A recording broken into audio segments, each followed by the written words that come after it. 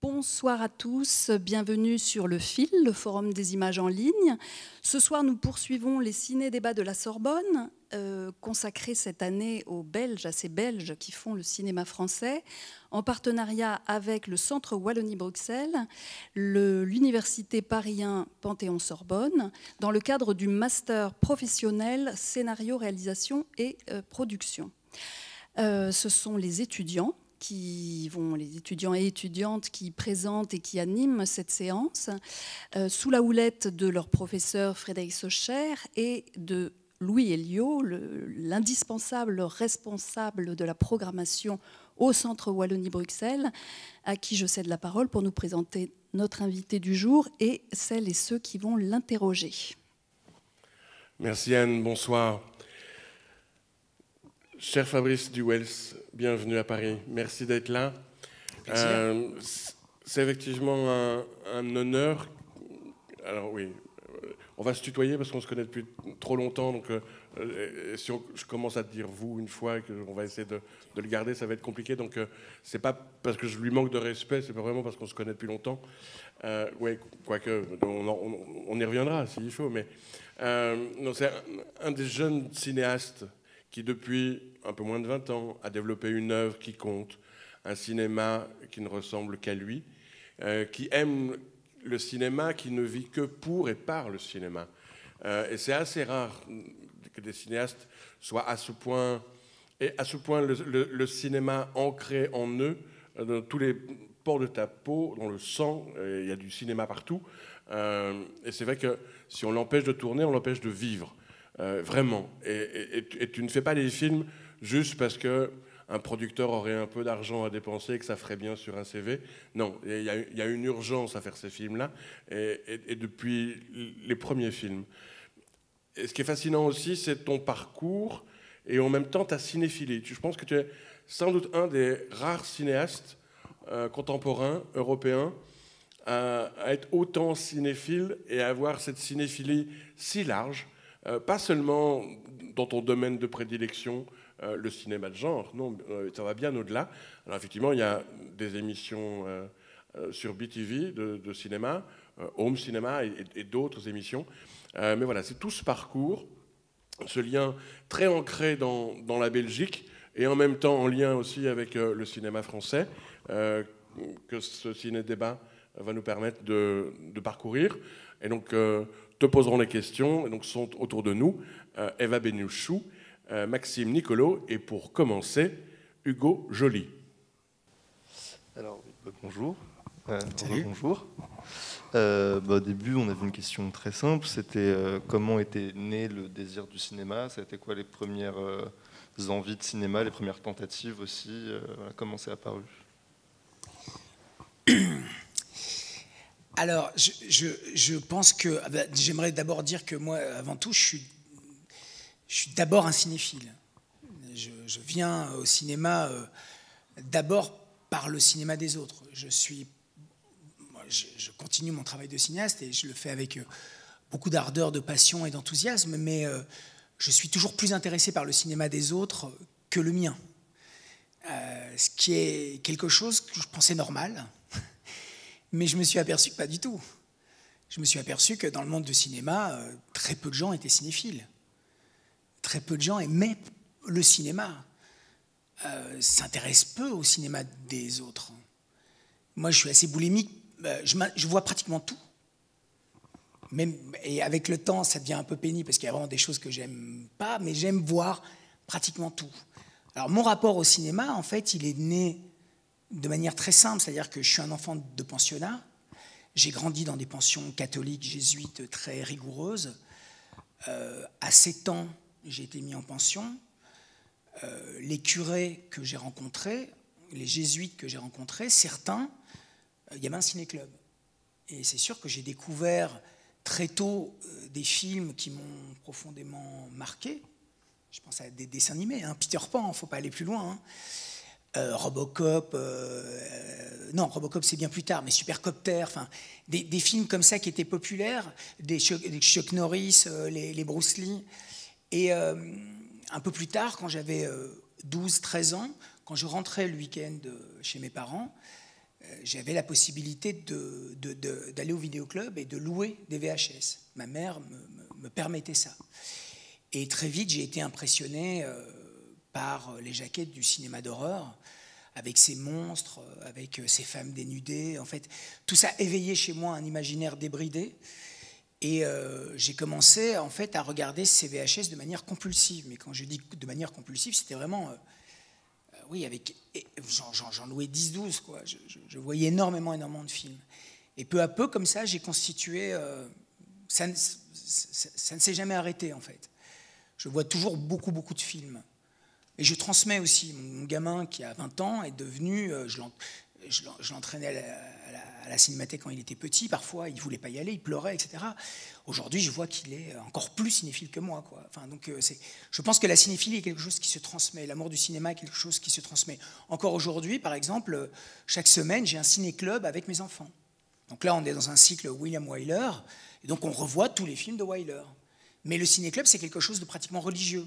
C'est-à-dire qu'on se retrouve, je leur fais à bouffer, on se met devant la télé, je fais mon petit speech du film, et je leur transmets euh, quelque chose. Euh, et, ça, c'est vraiment une grande joie, quoi. C'est quelque chose de, très joyeux. Et, c'est une de mes grandes fiertés, en fait, d'avoir pu transmettre l'amour du cinéma à, mon fils comme ça. Ma fille a 15 ans, donc elle est, plus, euh, elle est parfois un peu moins réceptive, mais je suis sûr qu'elle y viendra d'une certaine façon. Donc voilà, ça c'est comme ça que je suis que je suis tombé amoureux du cinéma et avec l'envie de moi-même faire du cinéma. Et puis voilà, ça s'est développé, mais euh, même si je, suis profondément euh, cinéaste et que j'ai profondément envie de faire du cinéma, et comme disait Louis, euh, on m'empêcherait de tourner, je serais malheureux comme une pierre, ce serait terrible, mais on m'empêcherait de voir des films, ce serait encore plus terrible. Parce que ça, c'est vraiment quelque chose qui est super important. J'ai besoin de voir ce que font les autres. J'ai besoin de m'enthousiasmer pour le travail des autres. Je suis souvent stupéfait de voir les gens qui aiment voir certains cinéastes se planter. Moi, j'ai jamais de plaisir à voir des cinéastes se planter. ce qui m'intéresse, c'est savoir comment ils se sont plantés, s'ils se sont plantés avec panache ou pas. S'ils se sont plantés avec panache, c'est formidable. S'ils se sont plantés avec, euh, avec cynisme ou paresse, tant, pis pour leur gueule. Après, il y a des cinéastes que j'aime pas du tout, hein, entendons-nous bien. J'ai vraiment des collègues que je ne supporte pas. Mais euh, je, pense qu'il faut être, comme disait euh, Douchet, euh, l'art de la critique, c'est l'art d'aimer. quoi. Et je pense que aimer les films, c'est fondamental. Et aimer les cinéastes, c'est fondamental. Mais au départ, est-ce que c'est l'envie de faire des films ou, l'envie de jouer? Parce que c'était quand même. Tu, rentres au, Conservatoire de Liège. Oui, c'est les deux en fait. C'est par le théâtre. Oui, mais c'est les deux. J'ai l'envie de voir des films. D'abord, quand on est adolescent, c'est d'être devant. On n'imagine pas ce que, peut être la technique, ce que peut être la mise en scène, le découpage, euh, le montage, le mixage. On n'imagine pas ça, on se dit c'est devant. Donc on se projette devant, on se projette en étant euh, Belmondo, Bruce Lee, euh, on se projette en étant l'acteur. quoi. donc ce n'est que plus tard en fait qu'on commence à voir comment ça s'articule. Moi j'ai longtemps pensé que je serais comédien, mais j'ai vite compris que je ne le serais jamais. En même temps, mes études au conservatoire m'ont appris à, dialoguer euh, intimement avec les comédiens. Et s'il y a quelque chose que je sais faire, c'est parler aux comédiens. Je sais les pousser, je sais, euh, euh, je sais rentrer dans une espèce d'intimité avec eux. Et, j'ai appris à les choisir. Et une fois que je les ai choisis, je, sais comment communiquer avec eux. Je sais quel, quel équilibre, oui, comment articuler le bon équilibre avec eux pour, qu'ils accouchent du meilleur d'eux-mêmes mais euh, en fait, j'ai longtemps vécu dans cette schizophrénie de, quand j'étais euh, euh, jeune homme, d'étudier les grands textes au, conservatoire, donc Brecht, Ibsen, et le soir regarder des jazz franco ou des films complètement de série Z, Z, Z. Quoi. Donc j'ai longtemps vécu dans cette schizophrénie, mais je n'ai jamais compris la hiérarchie des cultures. Ça, c'est quelque chose que je ne j'entends pas bien. Je, alors, il y a des cinéastes qui m'intéressent plus, mais en fait, je m'intéresse toujours au parcours, à l'audace, à, comment les cinéastes se battent avec eux-mêmes pour accoucher des meilleurs films. Euh, c'est pour ça que voilà, la période est un peu molle. On peut dire qu'elle est un peu molle. Et peut-être que cette crise va réaffermir certaines ambitions. on peut espérer ça.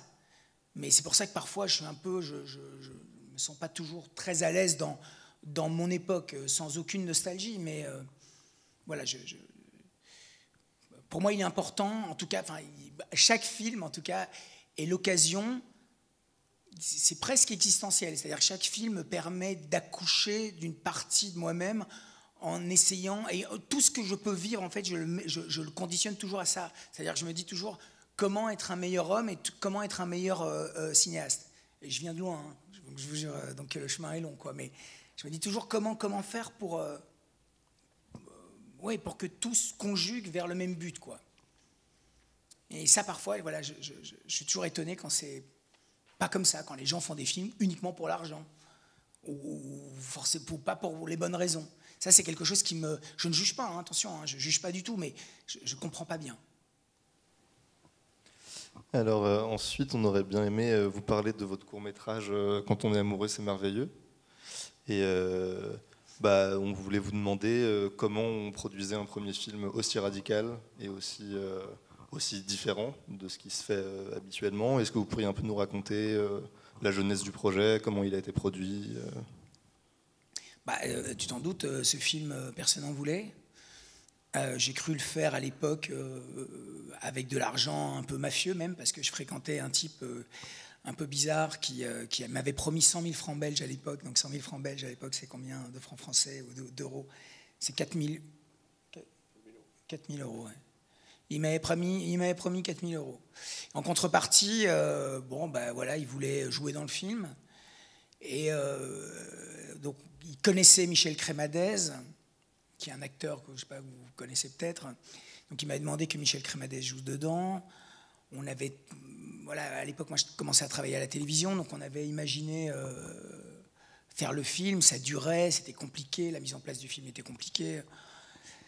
Euh, et puis un jour, j'ai remis ce dossier, euh, j'ai remis un dossier au CNC belge, quoi, à la fédération, qui s'appelait, je ne sais plus comment à l'époque, et il n'y avait pas de téléphone portable. Et un jour, sur mon, sur mon répondeur, j'ai eu un message de Denis, de Denis Abran, qui me disait T'as l'argent je ne sais même pas comment c'est possible, comment j'ai pu choper l'argent pour ce film. Et il se trouve qu'on a fait le film, euh, je ne sais plus combien, on avait pas, grand-chose, hein, mais on a pu le faire.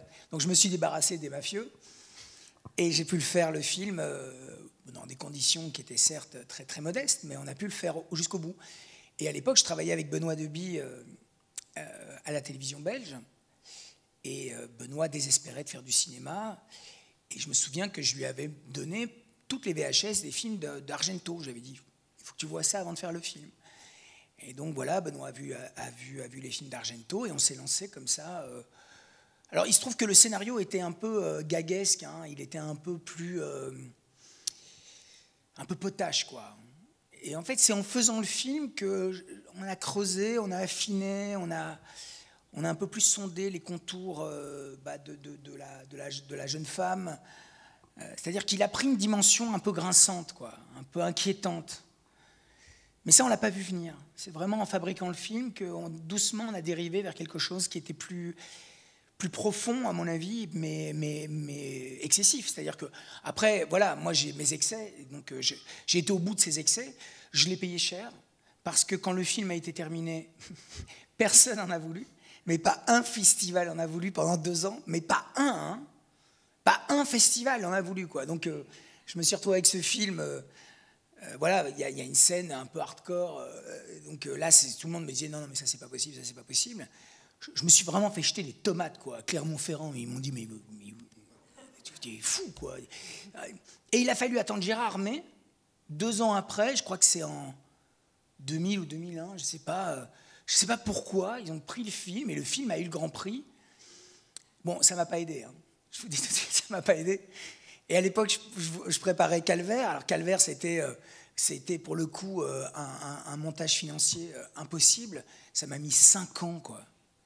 Mais en même temps, je ne regrette pas parce que ces cinq années m'ont permis de mûrir, m'ont permis d'acquérir une nouvelle cinéphilie. De, de, je pense que j'aurais fait le film probablement avant. Bah, le film aurait été beaucoup plus square, quoi. il aurait été beaucoup plus prévisible. Donc ça m'a permis en fait tout ça, et c'est ce que je, dis souvent aux, jeunes gens qui, font des, qui veulent faire des films et qui rencontrent des difficultés de financement parce que le CNC ne leur donne pas l'argent, parce qu'ils n'ont pas l'aide à l'écriture, ou c'est reporté, etc. Il faut utiliser ça, c'est-à-dire qu'il faut, faut jamais lâcher en fait. C'est-à-dire que comme personne nous attend, personne jamais, en fait il faut s'imposer, et il faut s'imposer avec détermination, et utiliser le temps en fait pour... Euh, oui, bah, on est toujours impatient de tourner, mais l'utiliser pour euh, acquérir de nouvelles connaissances, euh, mûrir son propos, ses intentions, affiner son, propos, quoi. Voilà comment ça s'est passé plus ou moins le court métrage. Merci. Alors ben, justement, vous parliez de Calvaire, donc on va vous montrer un extrait euh, de ce film. Euh, donc je le présente très rapidement pour, euh, pour le public. du coup, c'est votre premier long métrage qui sort en 2004 et qui raconte, comme le titre l'indique, le calvaire d'un chanteur qui s'appelle Mark Stevens, joué par Laurent Lucas et, Laurent Lucas, et qui va vivre un calvaire dans la forêt des Ardennes.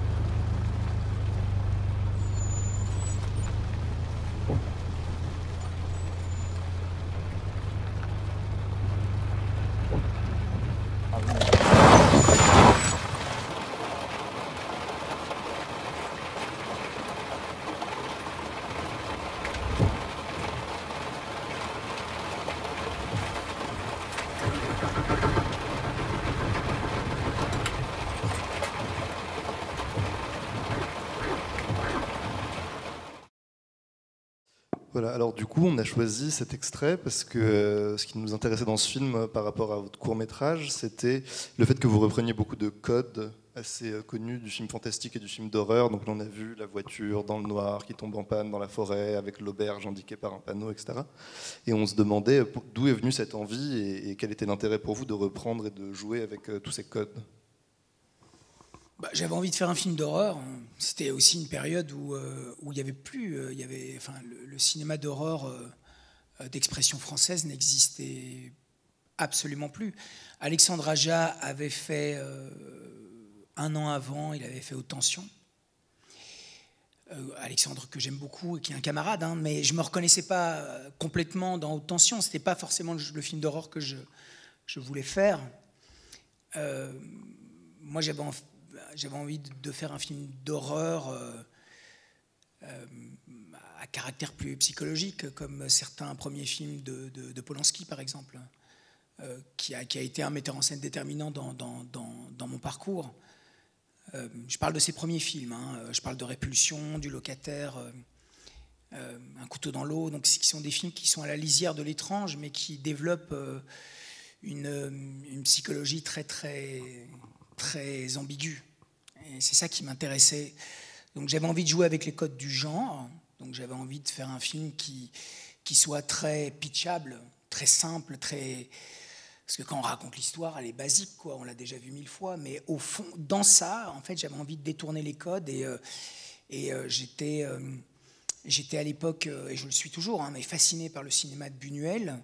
Donc j'avais envie de, jouer avec un peu certains codes de mon éducation catholique, de les, contourner, de les mettre à mal. Et j'avais un, référent, euh, j'avais bon, j'en ai plusieurs là. On voit bien qu'il y a énormément de référents dans Calvaire. C'est un film sous influence.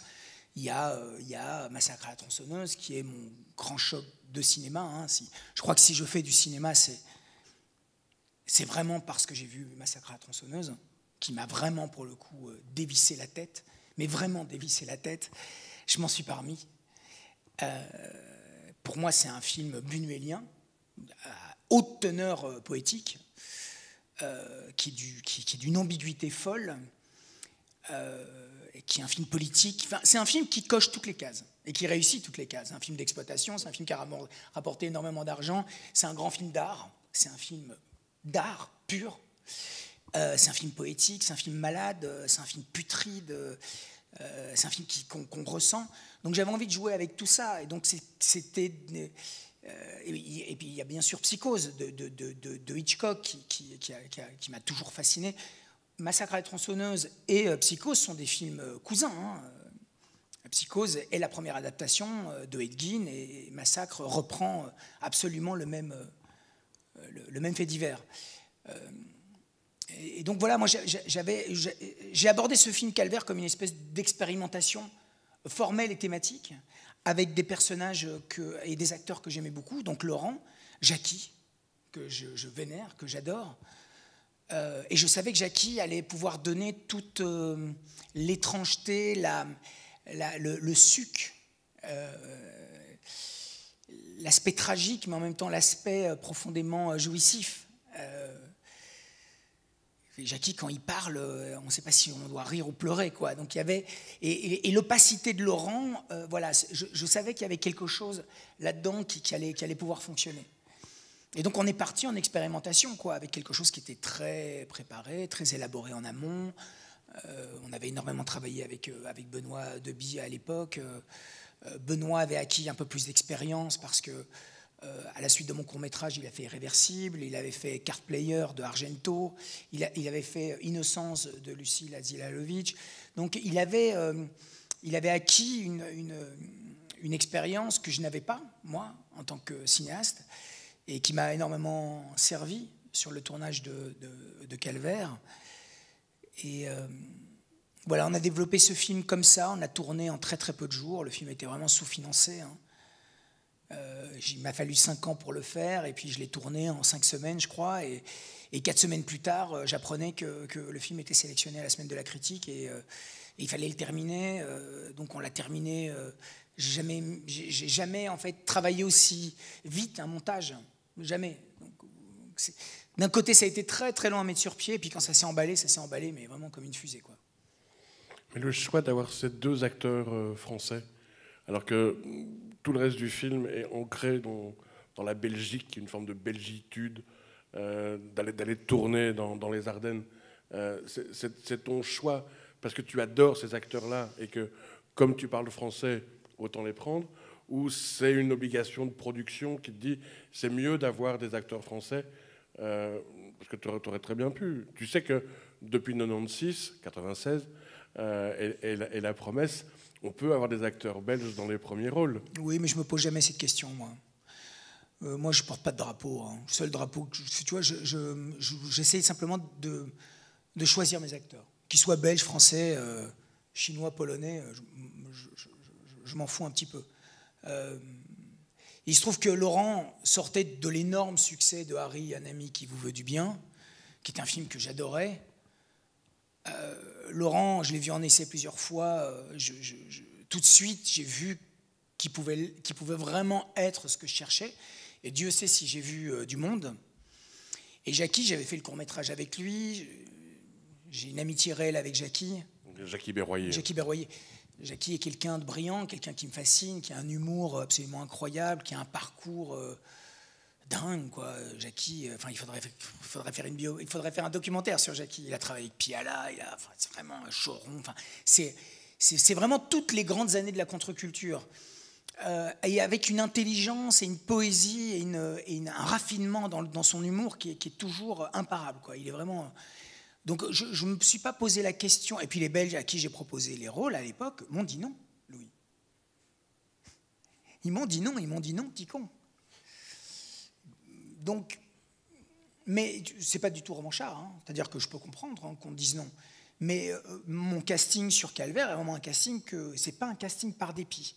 J'ai eu des castings par dépit euh, sur certains autres films qui ne sont pas véritablement mes films personnels. et, je, ne le ferai plus jamais. J'ai compris un truc, c'est qu'un acteur, euh, il faut le choisir, il faut l'aimer, quoi. C'est un mariage, hein, les gars.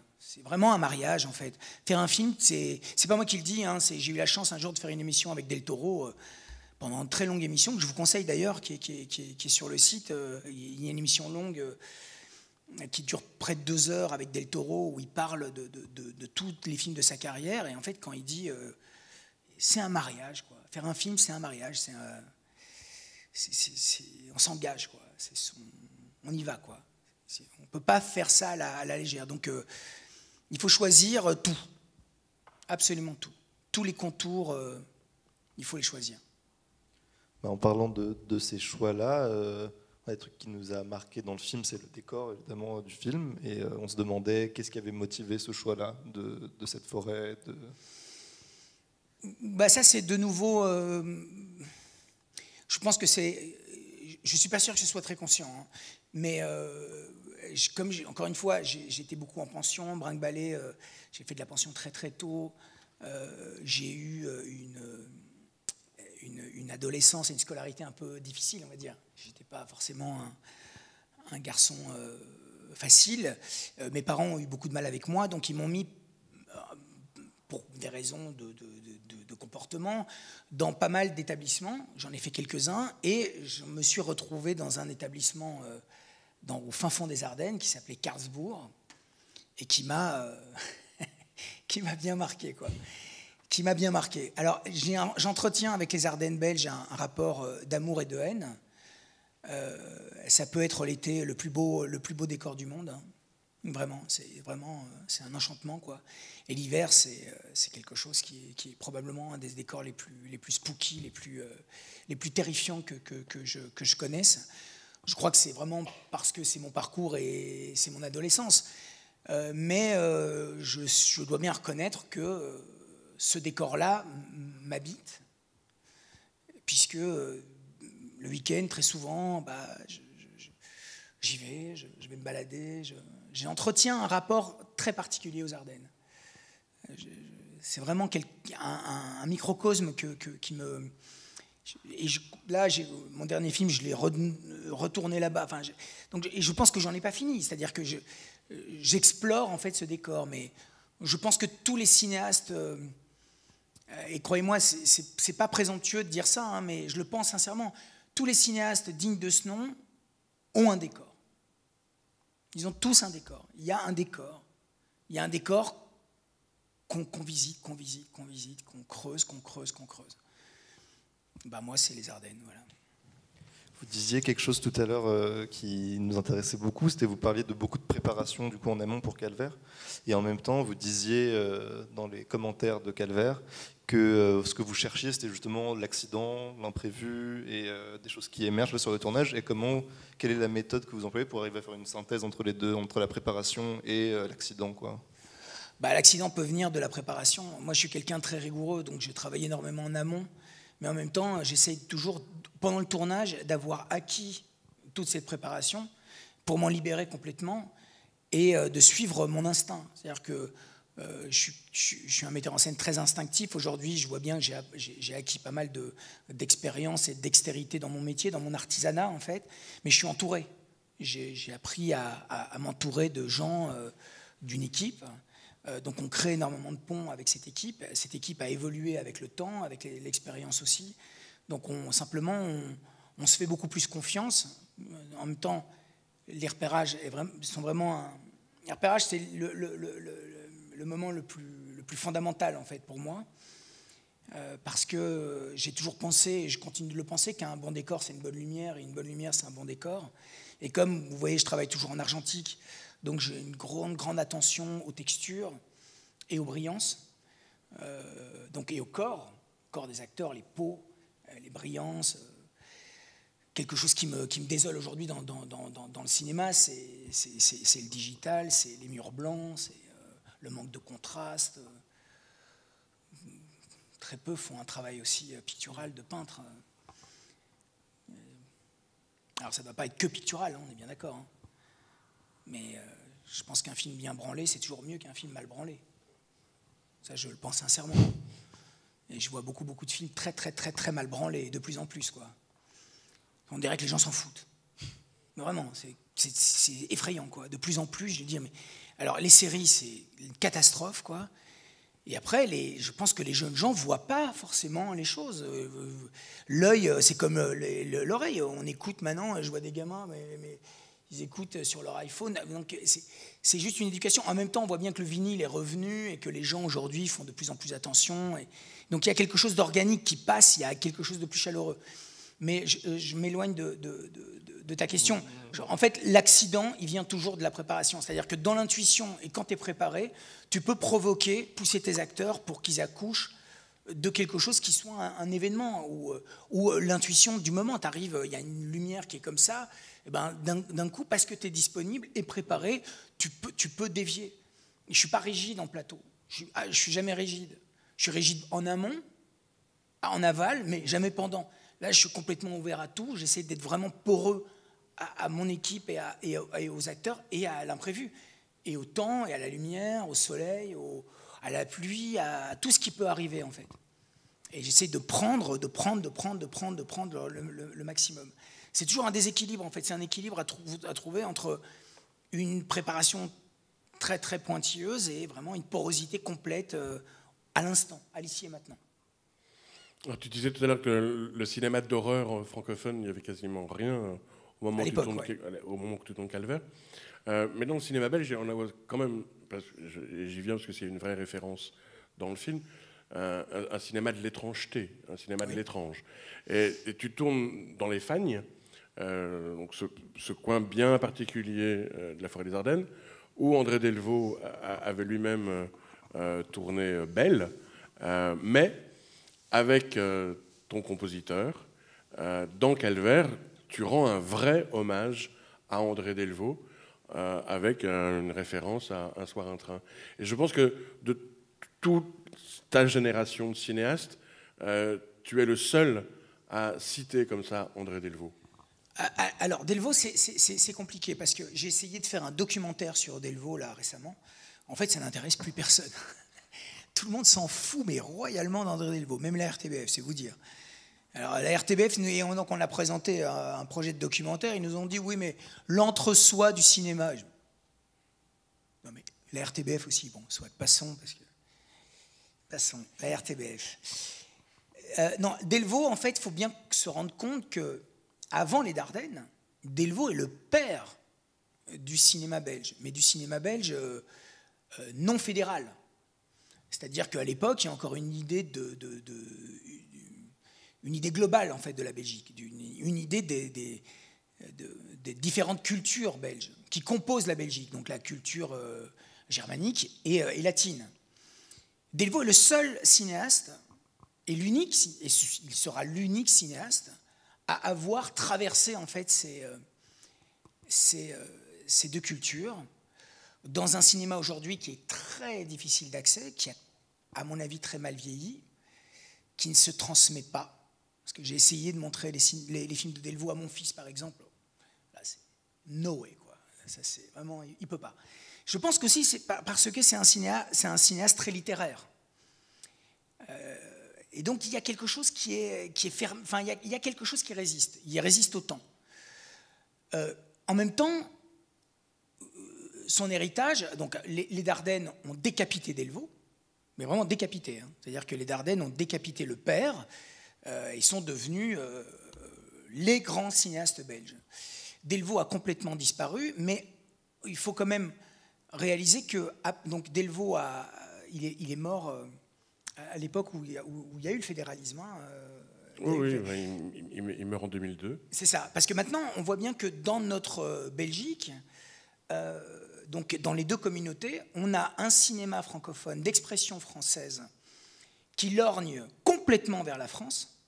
C'est-à-dire que, je sais qu'il n'aimerait pas m'entendre dire ça, donc je ne vais pas le citer, mais, euh, mais certains cinéastes belges euh, font des films français. Absolument français. Les cinéastes flamands, c'est une communauté qui lorgne uniquement vers Hollywood.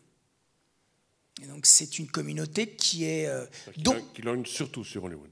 Mais surtout, absolument, ils, ne sont plus du tout dans le marché hollandais. C'est-à-dire que là maintenant, n'importe quel cinéaste flamand de 30-35 ans, lui, son rêve, c'est passeport to Hollywood. Alors que la, génération, euh, ma génération, moi je ne me mets pas dedans parce que vraiment je, développe mon cinéma.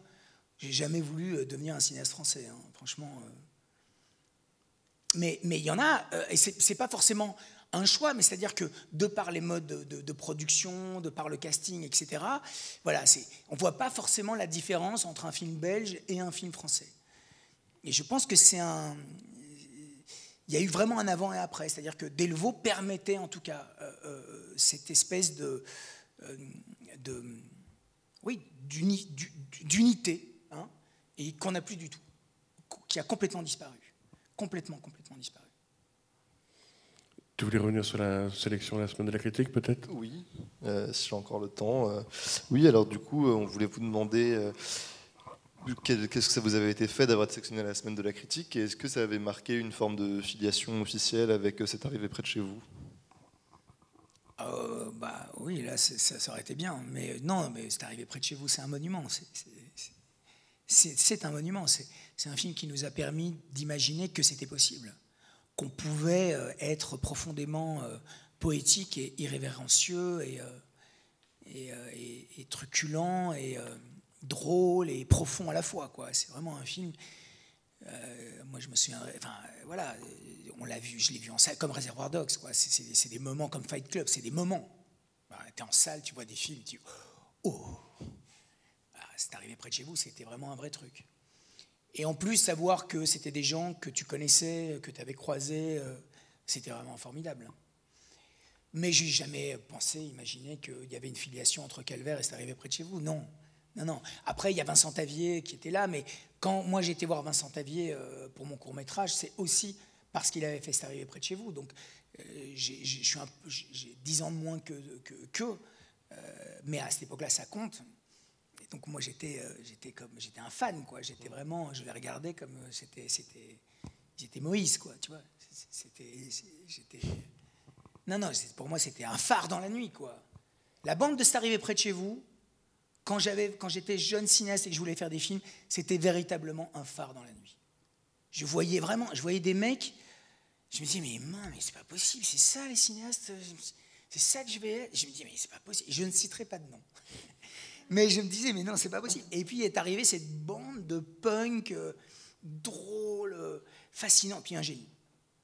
Un génie, Benoît. et je, vous jure que c'est pas un truc que je lance comme ça. Hein. Je le pense sincèrement. Vraiment, un mec inclassable, hors norme, euh, un géant.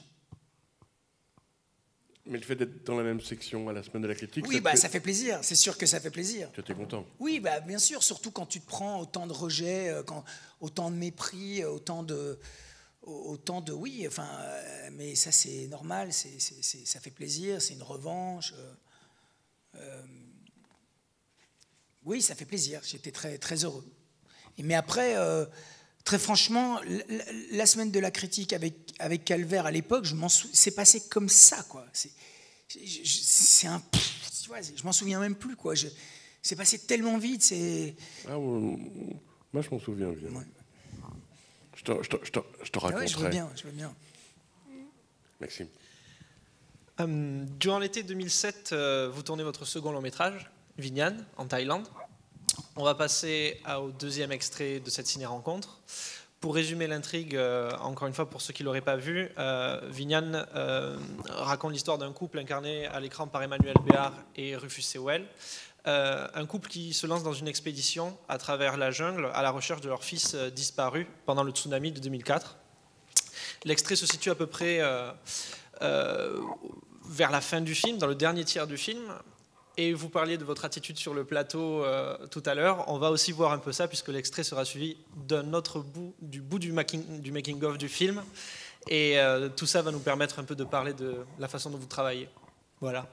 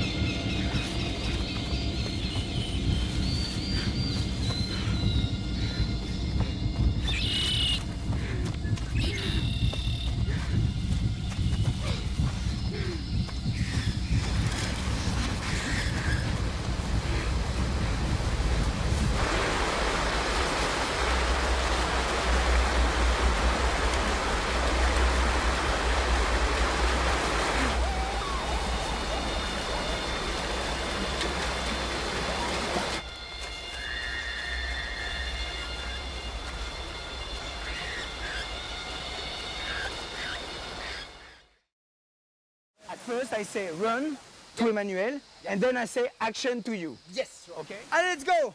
C'est bon, ça tourne là. Run and action.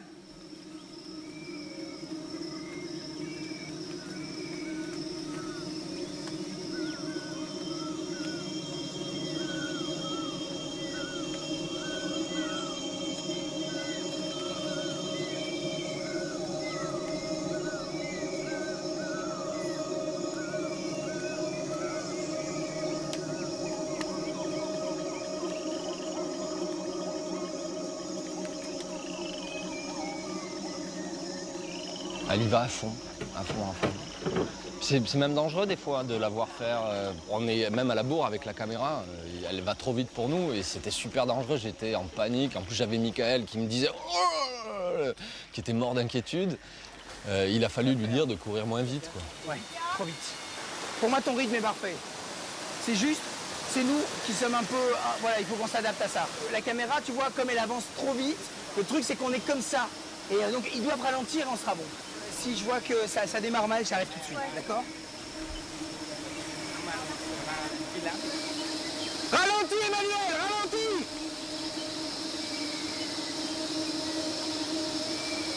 Emmanuel, c'est juste incroyable. Incroyable, je te jure, c'est dingue. Ça va Il y a des, des moments magnifiques. C'est extraordinaire.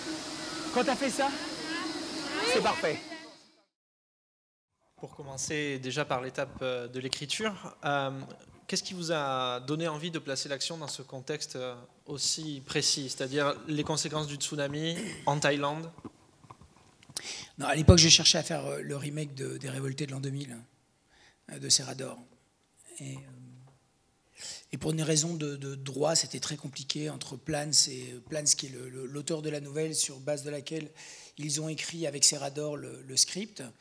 Euh, le, film, bah, à l'époque, euh, Les Révoltés l'an 2000 était complètement inconnu au bataillon. hein. Il y avait que vraiment les, certains cinéphiles qui connaissaient le film. Euh, je pensais qu'il y avait vraiment quelque chose là à développer, un couple. et un environnement hostile et des enfants et des enfants hostiles quoi. Donc pour la faire courte, on n'est pas arrivé à, à choper les droits.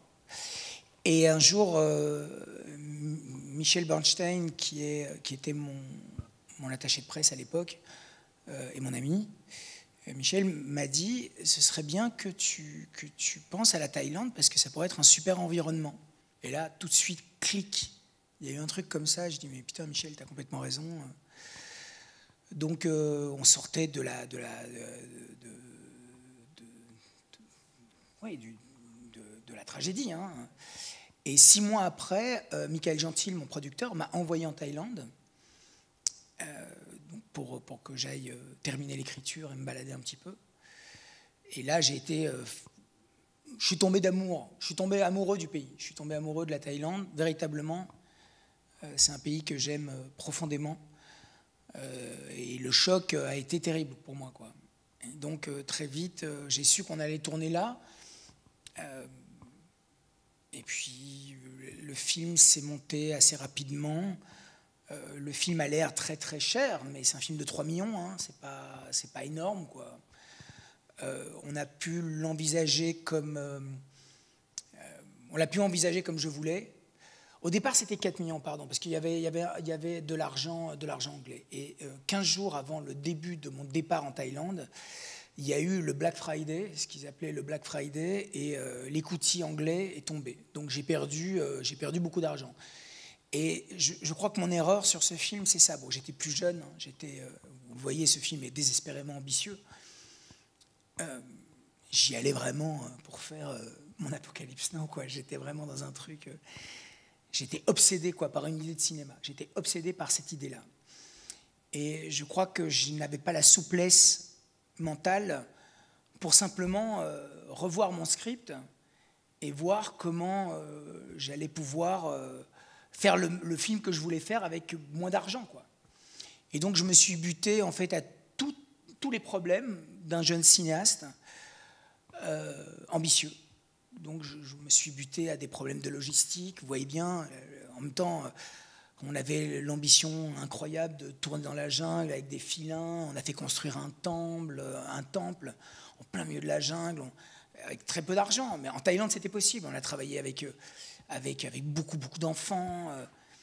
on, a, on, a, tourné dans les quartiers chauds de, Bangkok.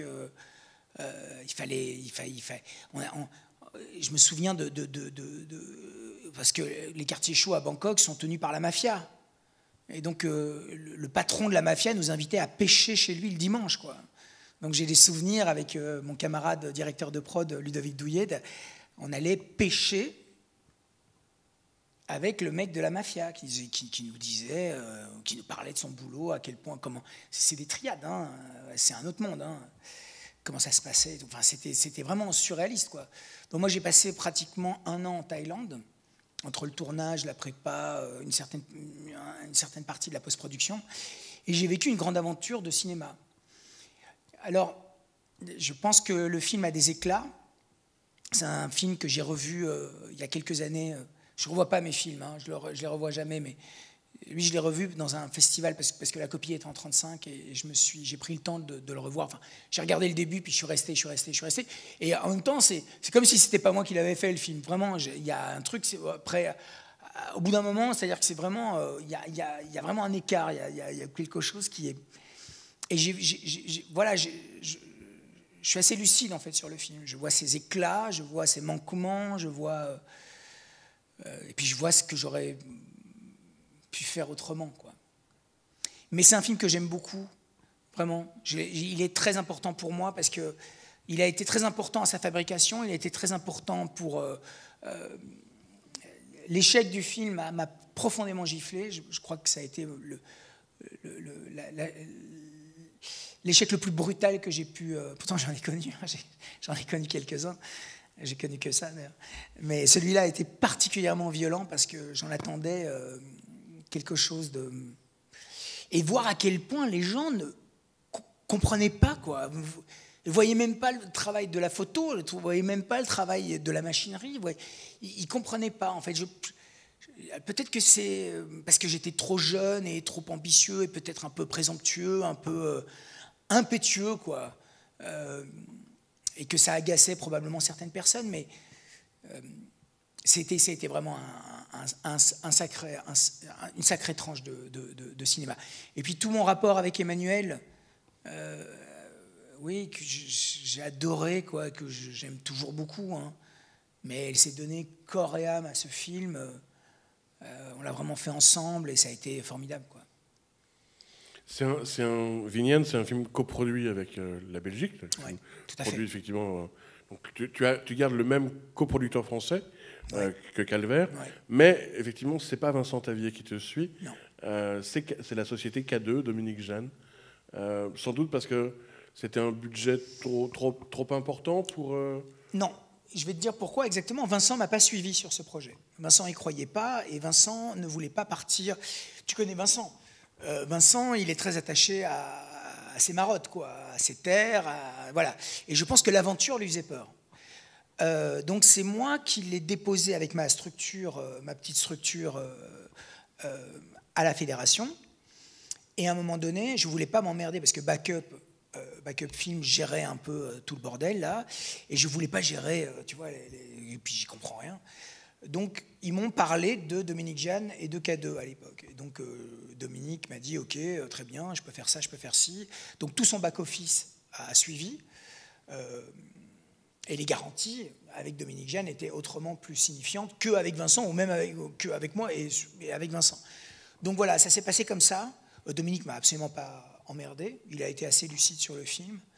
Euh, euh, Dominique Jeanne, pour vous le resituer, c'est celui qui a notamment produit tous les films de Gérard Corbiot, également tous les films de Benoît Mariage, qui a coproduit tous les films français, ou presque, dans lesquels jouait euh, Benoît Poulvorde euh, jusqu'aux années 2008-2009 et après il va effectivement arrêter de faire. Puis grosse personnalité quoi, très grosse personnalité Dominique Jeanne. Mais donc voilà, donc, ça s'est très bien passé. Enfin, c'est juste voilà le, le, le, film a, a, a vécu mais il continue à vivre. Donc c'est ça qui est euh, étonnant, c'est qu'on m'en parle de plus en plus. Mais j'ai appris énormément. vous avez parlé de euh, Coppola et d'Apocalypse Now. On pense aussi à Werner Herzog. Oui. Et euh, est-ce que quelque part derrière ce, ce tournage très compliqué, il y avait une, forme d'intentionnalité aussi parce que dans le making of vous parlez de porosité entre ce que vous avez vécu, ce que l'équipe a vécu, ce que les acteurs ont vécu, et ce que vivent les personnages mhm. euh, du film. Est-ce qu'il y avait une sorte d'intentionnalité et à quel point ça on le retrouve dans le film selon vous? Oui, sûrement, mais encore une fois c'est un film sous influence. J'étais plus jeune, je pense que je n'avais pas euh, euh, la maturité que j'ai acquise aujourd'hui je, me projetais beaucoup en fait, c'est-à-dire que je voulais vivre. J'ai toujours, je suis toujours en quête d'intensité euh, dans tout, dans tout ce que j'entreprends dans la vie. Je, suis euh, profondément accro à l'intensité, mais euh, l'intensité de cinéma est quelque chose qui m'a toujours. en fait, quand ça se passe trop bien, ça m'inquiète un peu. J'ai toujours besoin de difficultés. En fait, dès qu'il pleut, dès que c'est la boue, dès que les problèmes logistiques euh, deviennent, euh, euh, incroyables, dès que ça commence à... J'exulte. Je, vis. donc sur ce tournage-là, je dois dire, je me suis confronté un peu à mes propres limites, mais je pense que je n'étais pas encore probablement suffisamment prêt pour, oui, pour mener à bien un projet comme ça mais oui, de toute façon, c'est-à-dire que voilà, j'étais vraiment dans la quête de, me dire, je veux vivre un truc comme Herzog, je veux vivre des choses aussi. Mais à côté, bien sûr, ça n'a rien à voir, parce que de toute façon, l'époque est très très différente. Et, euh, quand Herzog fait Aguirre ou, euh, ou Fitzgeraldo, déjà, c'est des tournages de 4 ans. Euh, Aguirre, voilà, il n'a rien, il arrive dans un pays où il n'y a aucune logistique. Donc, c'est incomparable. Mais dans mon fantasme de cinéma, tu vois, en fait, c'est ça c'est que je suis toujours dans un fantasme de cinéma et dans un fantasme d'intensité. Et ce film est probablement euh, voilà, la, la, connexion entre tout ça. Un, fantasme de cinéma, euh, une, volonté d'aller au bout de soi-même, de se mettre à mal, de vivre une, période, une, une parenthèse d'une intensité folle et, euh, je l'ai vécu hein, jusqu'au bout, du bout, du bout, du bout. Hein, mais euh, mais euh, ouais, je regrette rien, rien du tout. Et, comment on fait pour entraîner une équipe dans cette intensité-là? Parce qu'on le voit, on le voit, on voit l'assistant réalisateur qui était inquiet pour Emmanuel Béard, on voit que les acteurs sont marqués. comment on fait pour fédérer encore une équipe quand on est dans ce genre de contexte-là, en plein milieu de la jungle? Bah Ça, c'est une de mes qualités et encore une fois, hein, c'est pas c'est juste, je suis lucide, je connais, je sais. J'arrive à fédérer autour de moi. J'arrive à fédérer parce que je pense que j'ai un enthousiasme qui est assez communicatif et j'arrive à fédérer autour d'une idée. Alors bien sûr après, surtout là, il y avait les assurances, il y avait mes producteurs qui étaient inquiets, ils m'ont tiré l'oreille plusieurs fois, il a fallu que je fasse attention. D'ailleurs, cette intensité m'a joué des tours. J'ai fait un film euh, avec Thomas Langman euh, qui s'est très très très très mal passé cette intensité me, peut me mettre euh, vraiment, peut, me, oui, je peux, je peux vraiment faire des sorties de route. Et c'est ce que j'essaye maintenant dans, dans l'acte 2 de, mon parcours euh, de cinéma de, qui vient de commencer, je, crois, d'être plus mature, en tout cas d'avoir une, une meilleure analyse de certaines choses. Justement, on parlait de mariage tout à l'heure et on va parler d'un mariage qui s'est pas très bien passé, celui dont vous venez de parler, parce que vous avez la particularité aussi euh, d'avoir euh, travaillé dans plusieurs euh, autres systèmes de production différents, notamment le système français avec Col 45 et Thomas Langman, mais aussi aux États-Unis, Message from the King en 2016. On va commencer par Col 45 rapidement. déjà, qu'est-ce qui vous a attiré dans ce projet au départ? Qu'est-ce qui vous a fait y aller, y participer? Et d'autre part, du point de vue vraiment de par rapport à vos précédentes, euh, vos précédentes expériences de réalisation, qu'est-ce qui était fondamentalement différent? Vous avez déjà abordé le sujet des acteurs, du fait que vous n'aviez pas pu forcément choisir vos acteurs, mais est-ce que votre marge de manœuvre a été limitée à, d'autres moments euh, sur Col 45 Oui, il a été limité euh, pour des raisons budgétaires, mais enfin, c'était un. Bah, je ne veux pas trop parler de Col 45 parce que je, pourrais, hein, mais je pense que ça remue beaucoup de rancœur et beaucoup de, douleur parce que j'ai vraiment souffert et je ne veux absolument pas me victimiser, hein, attention. Hein.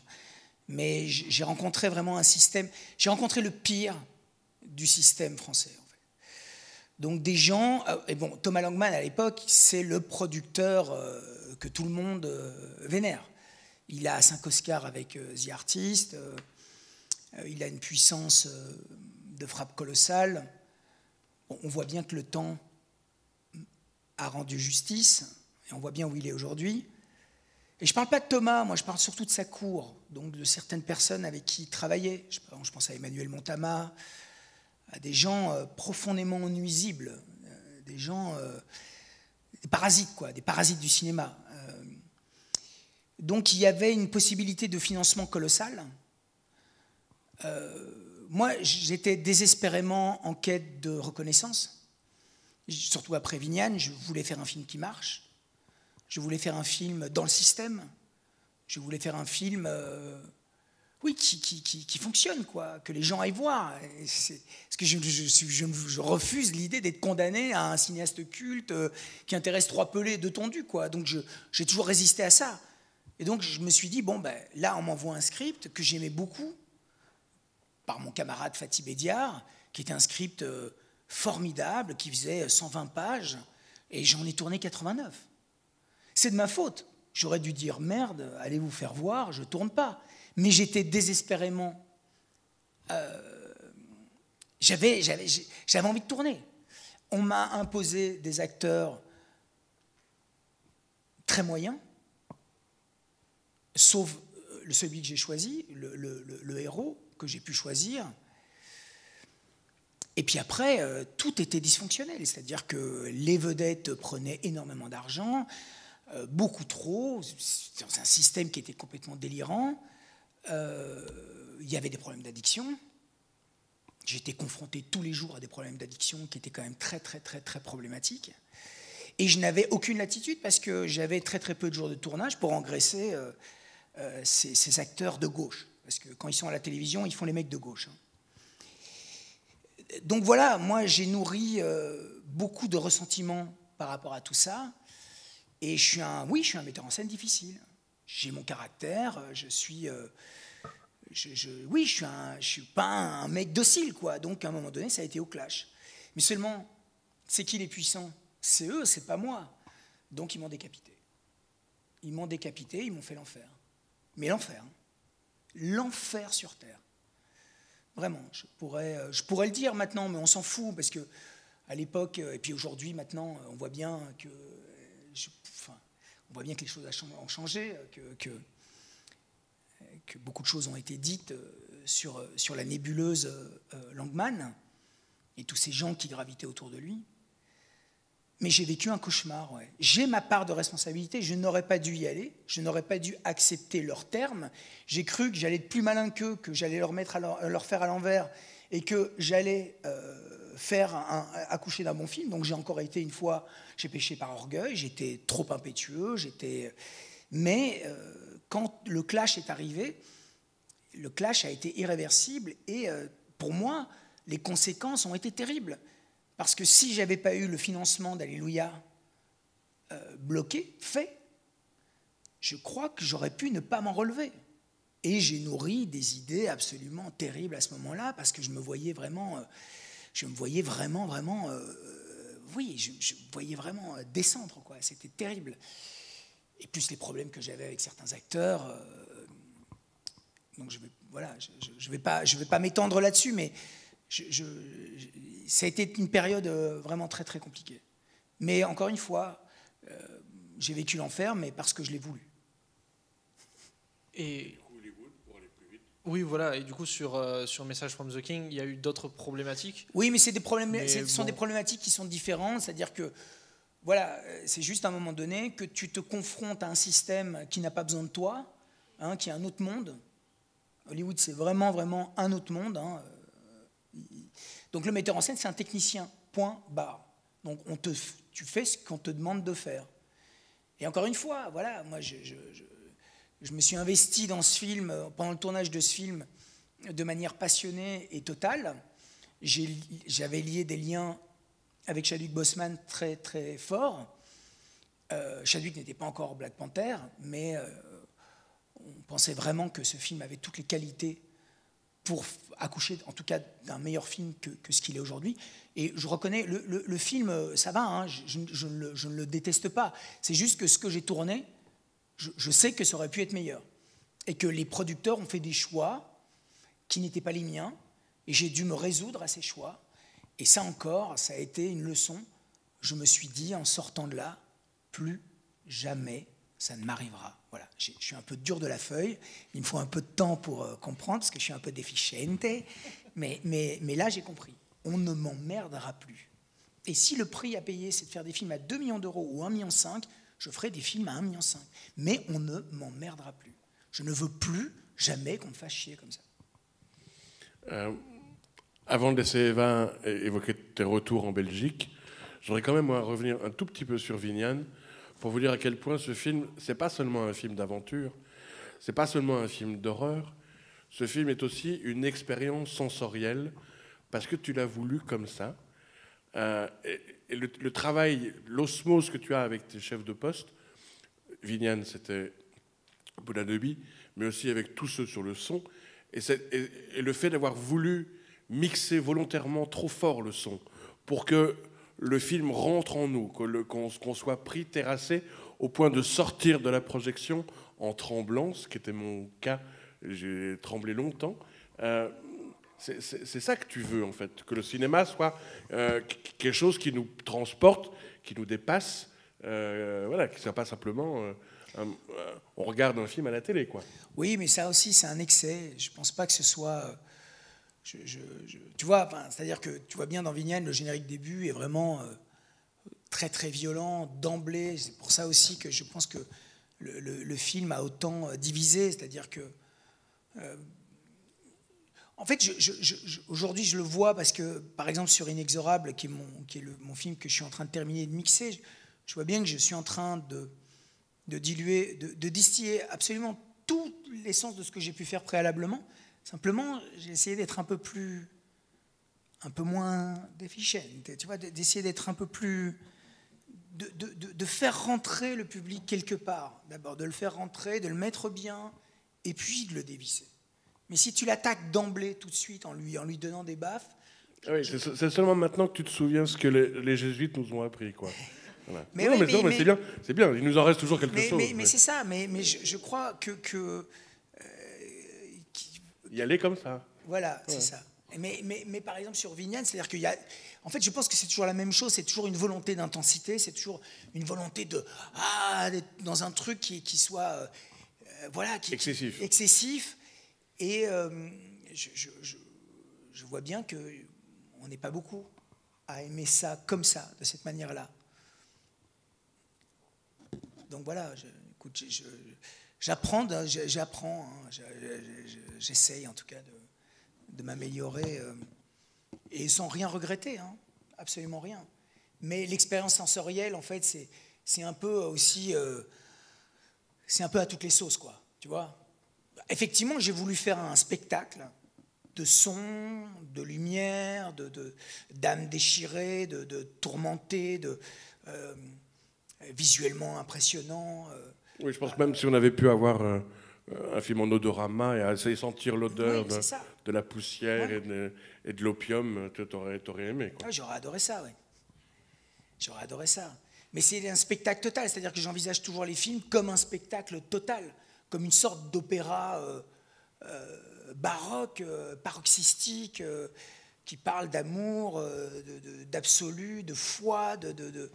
oui, de, Ça, ça, je pense que c'est aussi ce qui te reste de de tes études au Conservatoire de Liège et, Jacques Delcuvellery, les spectacles qu'il a pu monter. Euh, Rwanda 1994, c'est effectivement euh, du grand spectacle. Mais effectivement, après t'être perdu en France et aux États-Unis, tu, es, tu as bien fait de revenir à la maison. Euh, donc les, les, retours en Belgique, on va voir ça avec, avec Eva. Oui, voilà, vous êtes parti en Thaïlande, vous êtes parti aux États-Unis, en France, et donc euh, retournons, un petit peu en Belgique, avec notamment la thématique de l'amour fou. Euh, et donc, petit retour en arrière. Euh, Moi, je me demandais, euh, justement pour aborder cette thématique de l'amour fou, euh, d'où vient cette envie dans, Calvaire de, construire un monde sans femmes?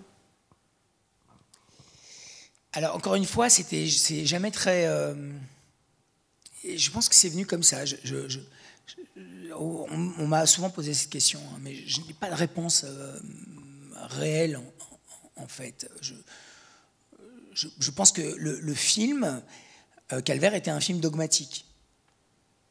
Je, voulais, euh, j'avais des, dogmes, euh, voilà, qui étaient comme ça. Donc, je, traitais aussi d'un monde en quête perpétuelle d'amour et de femmes et de et d'absolu.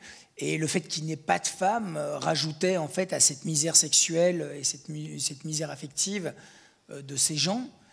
Et euh, je trouvais très amusant et très poétique, mais bon, ça ne fait, pas rire tout le monde, hein, mais que ce pauvre chanteur devienne la projection amoureuse de, de, de tout, de tout un pan du village. Et je trouvais ça amusant, comme un, sketch des, Monty Python aurait pu être. C'est-à-dire que euh, un, personnage pense qu'un autre est sa femme revenue. Et puis, euh, et puis une demi-heure plus tard, on s'aperçoit que tout le, visa- tout le village pense que c'est ça. Que voilà. Donc il y avait quelque chose là-dedans qui, qui me semblait absurde et, délicieusement euh, poétique, quoi. Enfin, si je puis, si je puis me permettre. Bah, Justement, par rapport à ça, vous parlez du- des codes du genre euh, tout à l'heure. Et, euh, et donc, pourquoi Laurent Lucas pour, euh, pour ce, glissement dans la frontière entre masculin et féminin? Mais parce que Laurent a une ambiguïté physique déjà réelle. Il, a, il a ce côté altier et, terrien. Il a un haut du visage qui est très lumineux et un bas du visage qui est beaucoup plus animal. Euh, donc il a cette espèce d'am- d'ambivalence qui m'intéresse beaucoup. Euh, il a cette voix incroyable. Et puis j'aimais le voir en chanteur un peu... euh, oui, un peu, un peu hors âge, hors sexe, comme une espèce de Tintin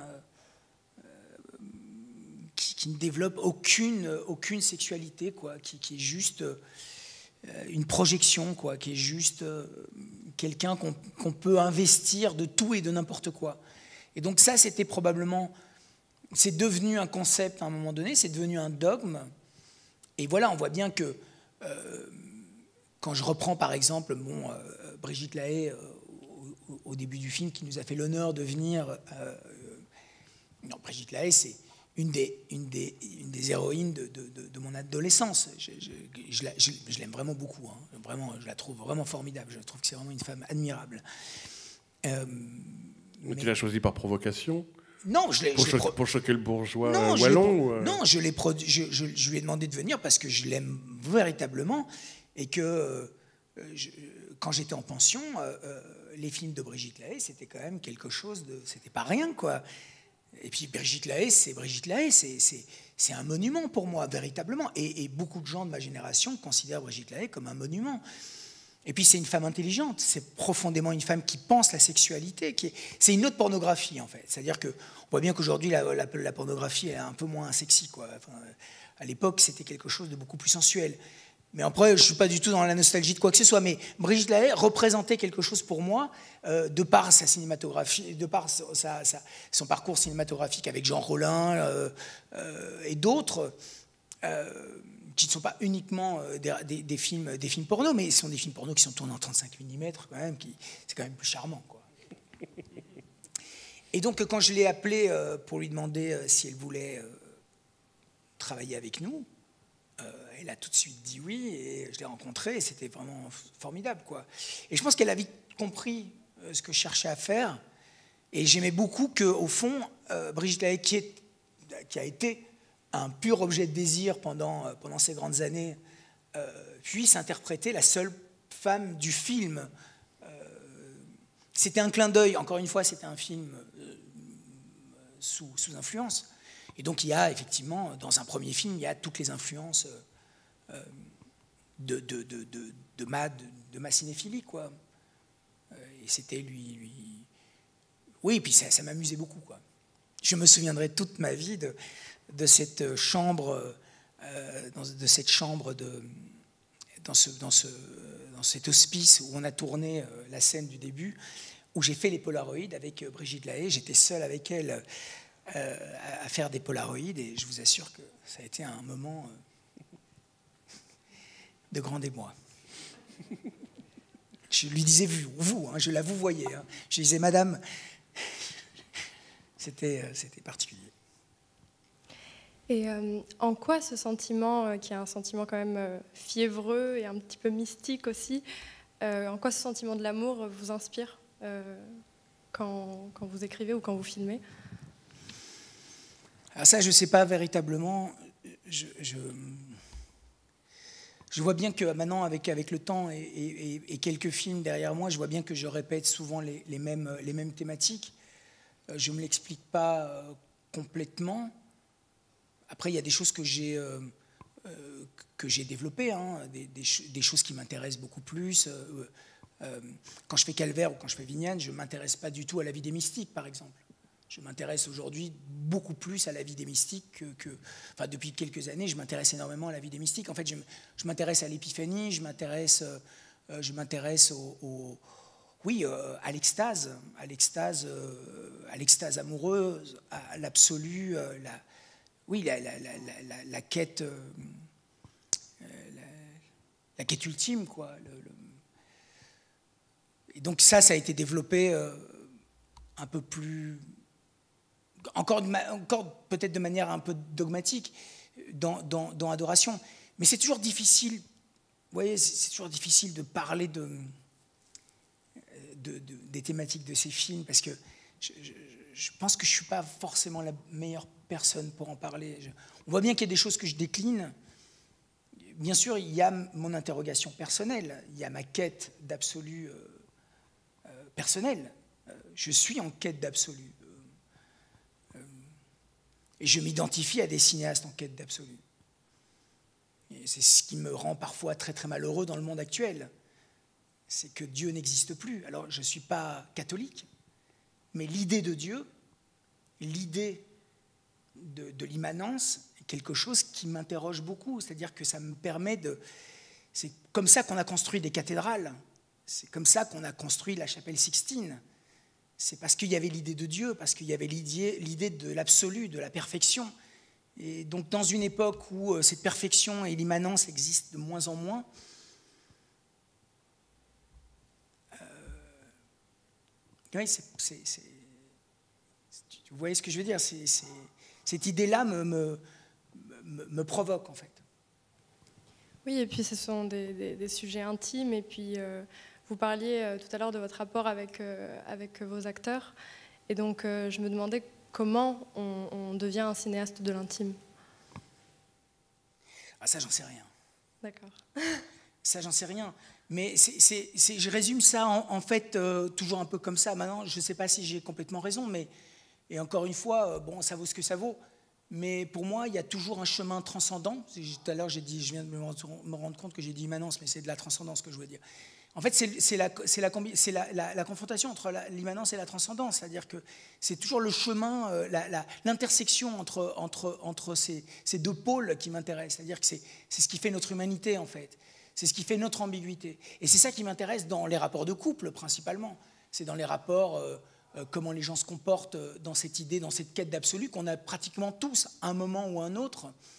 Alors même si l'époque est, un peu moins euh, portée là-dessus, malheureusement, on construit plus de cathédrales, on construit des McDonald's et des, conneries comme ça. Mais, je, pense que ce rapport-là, en fait, est quelque chose qui est, profondément... c'est sans fond pour un cinéaste pour un écrivain, ou pour un peintre, ou euh, c'est traquer ça. En fait, ce qui m'intéresse, moi, de plus en plus aujourd'hui, c'est euh, ce qui n'est pas dit, quoi. C'est ce dans, dans, le couple, en tout cas, parce que le couple m'intéresse et m'interroge énormément. Euh, et ça, et le mensonge, les mensonges, les impostures, tout ce qu'on dissimule, ça, c'est quelque chose qui me fascine, mais, mais, mais j'essaie de l'interroger à ma manière. Et j'essaye profondément de sonder les choses de plus en plus. Et c'est pour ça que j'ai probablement diminué en fait le décorum de mes films. C'est-à-dire que, par exemple, Inexorable, c'est un lieu.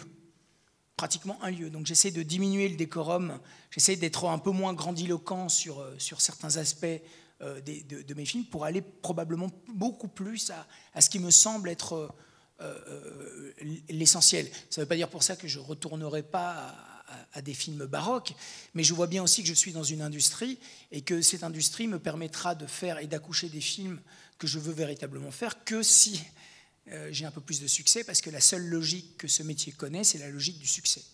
Et ça, je l'ai appris à mes dépens et de manière violente.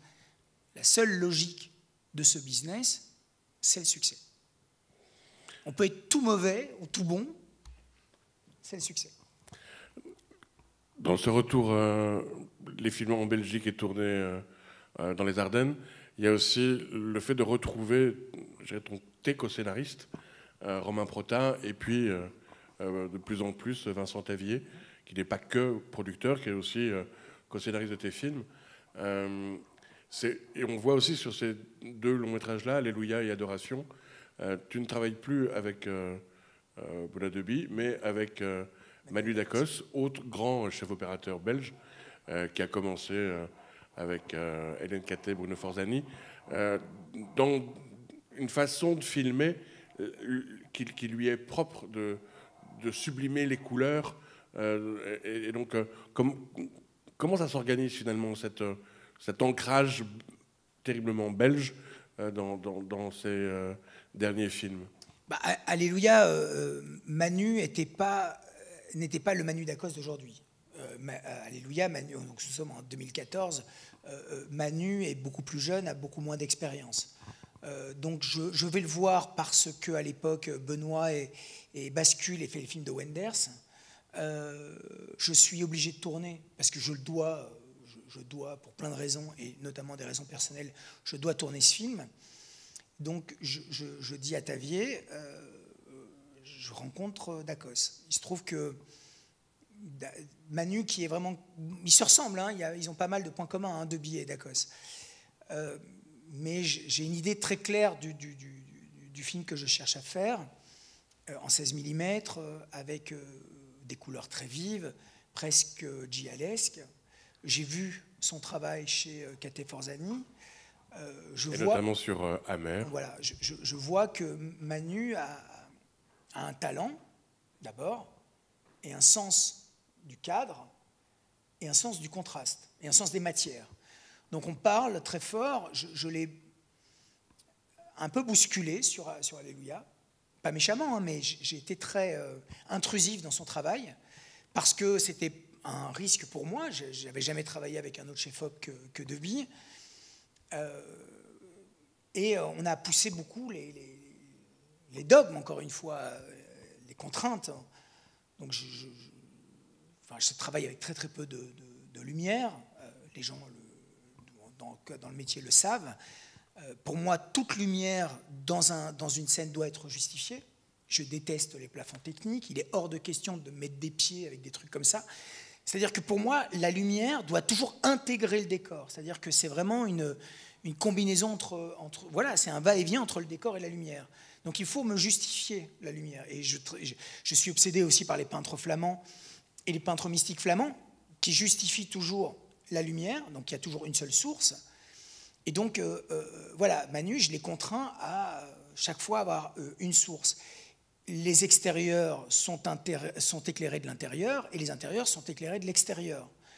Donc voilà, il y avait toute une charte, une charte un peu dogmatique comme ça. bon, c'est devenu un peu une blague à un moment donné, hein. mais, mais ça a permis en tout cas à Manu de, beaucoup de choses, beaucoup de choses, et je pense qu'il a, probablement beaucoup, beaucoup appris sur ce film. Et, après, Manu a fait, euh, euh, beaucoup, beaucoup de films, et de plus en plus. Et aujourd'hui, c'est sûr que sur Adoration, quand je le retrouve euh, quelques années plus tard, bah, c'est sûr que je vois un autre chef-op. Je vois qu'il a acquis une dextérité, qu'il a, a, acquis une souplesse tout à fait autre qu'il n'avait pas sur Alléluia. Et quand je fais Inexorable, voilà, là, je vois vraiment un, maître de la lumière qui a appris énormément, énormément.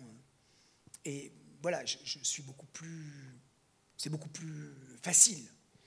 Mais finalement, dans les cinéastes belges, pardon mais il y a ceux qui permettent de découvrir des acteurs et des actrices. C'est le cas des frères Dardenne. un peu de Joachim Lafosse quand même, on, peut lui regarder ça. Toi, tu, vas faire découvrir des chefs-op qui ensuite vont travailler avec des Français, avec des étrangers. C'est le, cas de, de Deby, c'est le cas de, Dacos. mais il y a quelqu'un que tu as aussi poussé et, que tu as longtemps été le seul à engager, c'est ton compositeur. Et je ne voudrais pas qu'on termine ce ciné-débat sans évoquer euh, Vincent Cahet et, le, travail, l'importance de la musique à chaque fois euh, dans, les films que tu as faits, même si tu n'as pas pu l'emmener partout euh, où, tu voulais, notamment aux États-Unis. il a composé quand même beaucoup hein, sur le film. Hein. D'ailleurs, bon, ça c'est pour des raisons contractuelles, ben, mais en même temps, certains de ces morceaux ont été réarrangés par le compositeur américain. Mais euh, Vincent, en fait, c'est mon frère. Euh, je le connais depuis que j'ai 15 ans. Euh, ça ne veut pas dire pour ça que je vais en faire un de mes collaborateurs, mais je le connais bien intimement. Je, sais exactement où appuyer pour, pour qu'il accouche du meilleur de lui-même. Et je vois toujours la différence entre son travail chez moi et le travail chez, chez, chez, les autres. Mais bon, après, c'est que. enfin, on voit bien sur Alléluia, il compose quelque chose de formidable. Sur Adoration, c'est vraiment enfin, moi, ça me touche beaucoup, sa musique. Et, euh, je, pense que sur, euh, sur Inexorable, euh, c'est encore tout à fait autre chose. Mais c'est très, très puissant, parce que c'est beaucoup plus électro. Mais bon, c'est... En fait, je vois, j'ai compris l'importance de la, de la tranquillité familiale, quoi. C'est-à-dire du clan. Ah, j'ai un clan. J'ai des gens, j'ai vraiment des gens avec moi. Et je le rends bien, hein, mais euh, il y a quelque chose, je vois qu'il y a une unité, une harmonie, il y a quelque chose de profondément aimant et de très exigeant, mais de profondément aimant. Et euh, ça, change quand même beaucoup, beaucoup de choses, vraiment. Oui, euh, oui, oui, mais justement, vous parlez de, de, décor, de photos et de lumière, et, et donc, comme tout cinéaste, vous avez vos obsessions que vous réunissez justement dans cette trinité, décor, photo, lumière. Et peut-être justement pour en parler, un extrait d'adoration où, euh, où euh, Paul et Gloria se retrouvent euh, fugitifs dans la forêt ardennaise.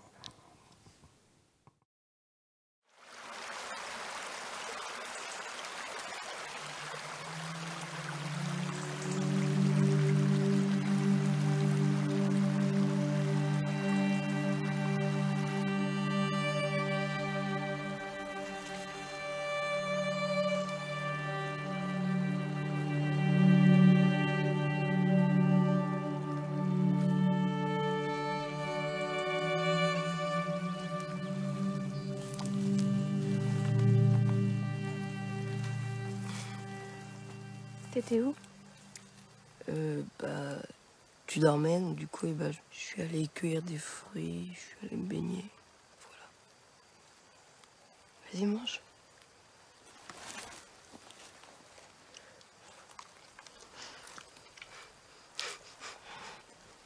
C'est pas manger. Si, attends, regarde. Un truc. Fais voir. Mmh. Regarde, donne ta lèvre. Tu l'as pété Mais non, c'est le rouge à lèvres. Arrête Oh On est où? Je sais pas. Et donc, euh, vous, euh, vous parlez d'un de décor comme quelque chose de, de pur. Et, euh, et, je me demandais comment se déroulent vos repérages et quel quelle importance vraiment euh, vous accordez à vos décors? Bah, Total, c'est ce qui est le plus important pour moi. C'est comme le choix d'un comédien. Pour moi, c'est aussi important que le choix d'un comédien. Un décor, c'est fondamental. Euh, alors, c'est vraiment quelque chose de très particulier, c'est-à-dire que euh, j'ai un camarade qui est mon chef d'écho et mon directeur artistique, donc c'est Emmanuel de Meulemester. Et donc, avec Manu, ce qu'on fait généralement très très en amont, c'est on part à l'aventure, parfois Tavier nous accompagne, et on discute, on passe des journées à la recherche de décors, euh, ce qui nous permet d'enrichir euh, euh, d'enrichir les scènes, ce notre, notre propos, de bien manger, de, picoler, de se balader, de passer un, moment, un moment fort, quoi. Donc on, fait ça beaucoup. On part énormément, on, repère, on prend le temps de trouver nos décors. Et après, c'est souvent une intuition. Mais c'est souvent une intuition qui est basée sur, sur les matières.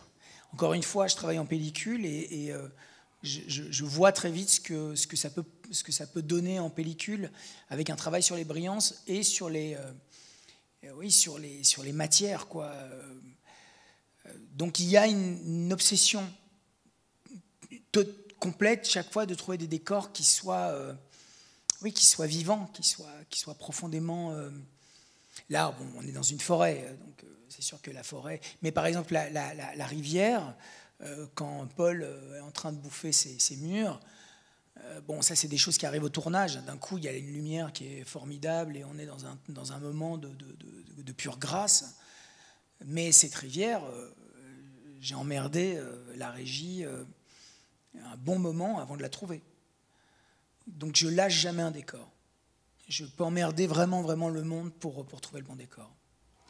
Et donc vous choisissez d'abord votre décor, puis ensuite euh, vous storyboardez Ou alors vous arrivez à faire votre découpage avant Il faut vraiment que le décor soit, soit premier Oui, c'est-à-dire que ce que je fais généralement, mais ça c'est vraiment chacun sa petite popote, hein, c'est-à-dire que moi, je ne comprends pas, par exemple, que les cinéastes ne fassent pas de storyboard. C'est quelque chose qui m'hallucine. Qui Mais encore une fois, ce n'est pas la Bible. Mais le, storyboard me permet de faire une sorte de brouillon visuel du film.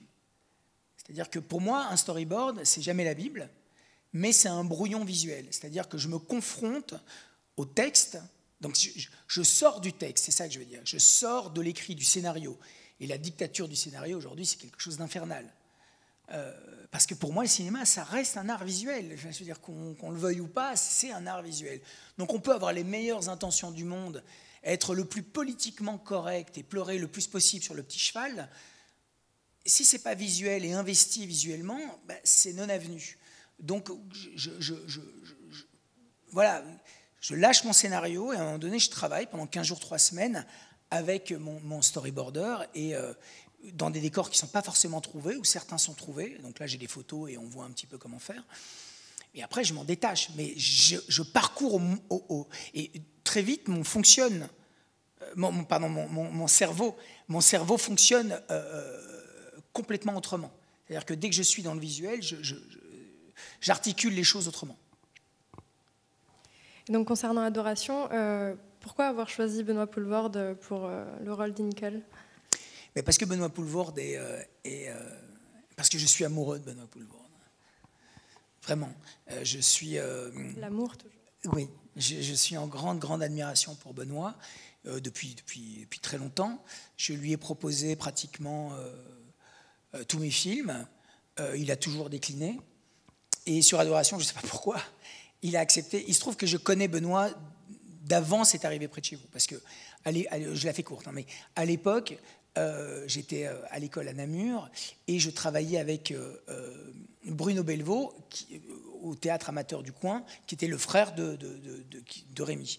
Et donc moi je les ai vus en finition de cette arrivée près de chez vous. J'avais 16 ans, hein, mais j'étais juste déjà très très impressionné par le charisme et, la, grande singularité de Benoît. J'ai des souvenirs très vivants de, Benoît Poulvourde à, à 23, 24 ans. Et j'étais déjà très impressionné et j'ai toujours euh, euh, voulu euh, travailler avec lui. donc Benoît, ça l'intéressait pas. Il, m'envoyait un peu gentiment balader. Et sur Adoration, je ne sais pas pourquoi, il m'a dit oui. il se trouve qu'on a tourné ensemble. Ça s'est pas très très bien passé. vraiment pas bien du tout même. mais je crois que c'est passé un truc dans nos énergies. il s'est passé quelque chose et, et c'est pour ça que, voilà, à un moment donné, j'ai été le voir pour Inexorable et je lui ai demandé s'il voulait euh, être le rôle central du, film. Euh, il m'a dit, mais pourquoi tu viens me revoir? On vient de s'engueuler. Euh, je lui ai dit, ouais, bah, voilà, écoute, en, fait, j'ai compris. J'ai compris que je devais être très souple avec Benoît. C'est-à-dire que je pense que Benoît, et sur Inexorable, vous verrez, il m'a donné absolument tout, absolument tout, mais je dois le prendre tel qu'il est. Ça ne sert à rien de d'imaginer que ce sera un acteur euh, technique dans ses marques. Euh, voilà. Il faut s'adapter avec Benoît. Il faut absolument être poreux à lui. Et juste pour terminer, et donc pour boucler la boucle, on a parlé de qu'est-ce qui vous a amené à faire du cinéma et donc quelles sont vos prochaines envies de cinéma? Ah J'en ai plein, hein. j'en ai beaucoup des envies de cinéma, mais après c'est toujours la même chose, c'est une industrie, il faut des budgets, il faut, il faut vendre les films, et donc là je suis toujours dans l'espèce de d'obsession, d'arriver à élargir un peu mon cinéma, de, de sortir de la niche et de, euh, oui, d'avoir un spectre, d'ouvrir le spectre de manière un peu plus, un peu plus large pour me permettre d'être plus ambitieux et, euh, donc voilà, mais des, rêves, oui, des, projets de cinéma, j'en ai, ai énormément, mais, euh, mais j'ai une meilleure conscience en tout cas de certaines choses. Donc je, vois bien que il faut, euh, il faut, euh, voilà, il, faut que j'arrive à, sortir véritablement de, ce côté un peu. Euh, je, refuse l'idée d'être un metteur en scène maudit ou culte. Ça m'emmerde véritablement. J'ai grandi dans l'amour du cinéma populaire, alors je, sais qu'il y a une mauvaise compréhension sur ce que peut être euh, le cinéma populaire.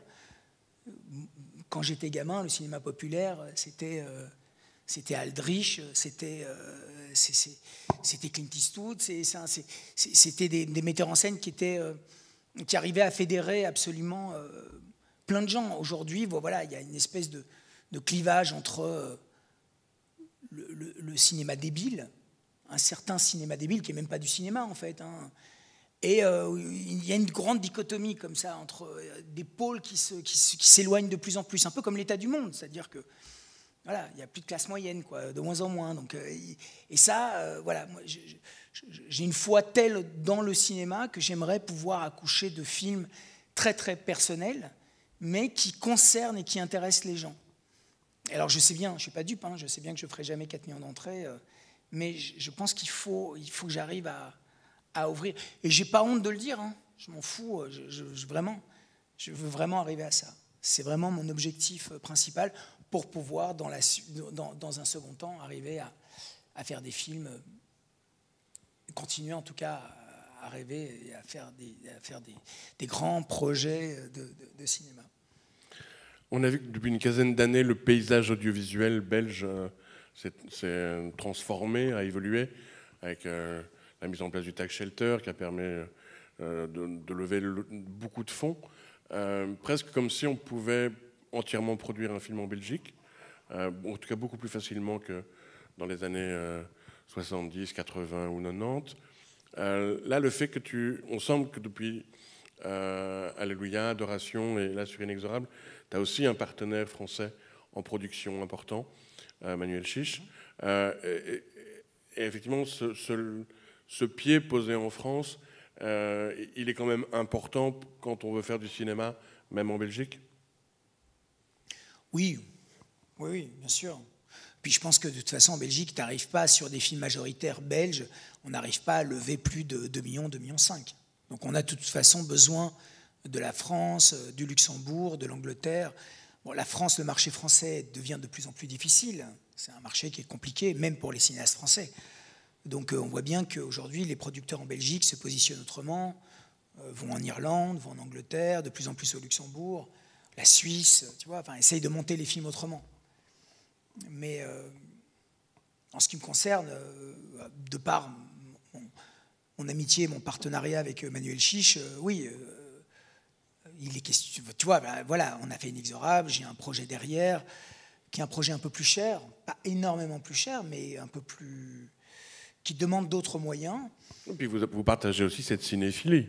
Ah oui, c'est pas, voilà, pas, simplement un, un, producteur euh, avec qui on, s'entend bien. Il y, a, il, y a, vraiment une osmose dans la. Manu, c'est mon ami d'abord.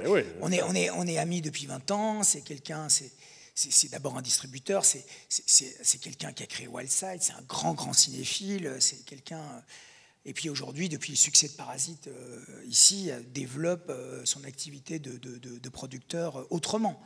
Et surtout, c'est quelqu'un qui a un phare, en tout cas, dans, le cinéma qu'on appelle de genre. Je ne sais jamais très bien ce que ça veut dire, mais En tout cas, c'est un phare pour les jeunes gens. C'est-à-dire que les jeunes gens, il est identifié, donc les jeunes gens, quand ils ont un projet un peu hors norme, vont voir Manu et son équipe, et, et Manu commence à, produire et développer beaucoup, beaucoup, beaucoup de choses, que ce soit les films qui arrivent, La Nuée ou Teddy, ou, même les jeunes gens. Quoi. Enfin, il y, y, a énormément de choses qui arrivent. Et ça, c'est formidable. C'est-à-dire qu'il y a au moins cet îlot-là qui existe. Parce que souvent, les, gens qui ont fait du cinéma de genre en France, ils font de la grosse comédie, puis parfois du genre, puis parfois du thriller, puis parfois des comédies. Tu vois, donc en fait, euh, The Joker est, une boîte qui est identifiée aujourd'hui véritablement dans le genre. Et ça, c'est quelque chose d'important, à mon avis. on a la chance que quelques étudiants soient avec nous. Est-ce que l'une ou l'autre, vous auriez une question à poser? Allez-y, je la. Mais non, mais. Euh, euh, J'ai lu le mois dernier les Cahiers du cinéma qui ont fait une, table ronde autour du, justement du, débat sur le cinéma de genre en France particulièrement. Et à un moment donné, le rédacteur en chef de Mad Movies, euh, Fausto Fazulo, dit, euh, parle des French Frayeurs et il vous cite comme en ah faisant partie, ou en tout cas à côté. Il cite d'abord les Français et après vous et quelques autres. Et du coup, j'aimerais savoir comment vous, euh, à la moitié des années 2000 et un peu après, vous vous placiez par rapport à ce. D'abord, est-ce que c'est un mouvement de votre point de vue Et comment vous vous placiez par rapport à ces auteurs, à ces auteurs-là, finalement? Bah, Un mouvement, je crois pas, parce qu'il n'en reste pas grand-chose. Par contre, c'est mes camarades que ce soit Jean, euh, Bustio, Maury, euh, Logier, c'est mes amis. C'est des gens que j'apprécie et dont je suis euh, le, parcours et que je vois de temps en temps et avec qui j'ai toujours beaucoup de plaisir à boire un coup ou à les bouffer. Quoi. Donc d'abord, c'est mes copains. après, on voit bien que chacun a suivi un parcours qui est très différent. Je ne pense même pas qu'il y ait véritablement d'unité entre, enfin, thématique entre, entre, entre nos films. Mais voilà, ce sont des gens qui ont des singularités qui sont, qui sont très fortes, et, tant mieux, tant mieux. C'est tout ce que je peux dire. Je, je me sens appartenir à aucun mouvement, hein, moi. Je, vraiment, je, je suis même pas sûr que véritablement que je fasse partie du mouvement horrifique, parce que sûr, mes films sont un peu extrêmes, mais j'ai jamais vraiment versé dans l'horreur pure ou dans l'horreur euh, euh, ou dans le film d'horreur stricto sensu, quoi. Je veux dire, ce qui m'intéresse, sont, encore une fois, sont, plus les tourments, euh, mais je n'ai pas de, J'adore le cinéma d'horreur, hein, bien évidemment, mais je dois dire que quand même depuis 10-15 ans, il m'ennuie un petit peu, quoi, de plus en plus. Ce n'est pas une généralité, mais souvent. D'autres questions?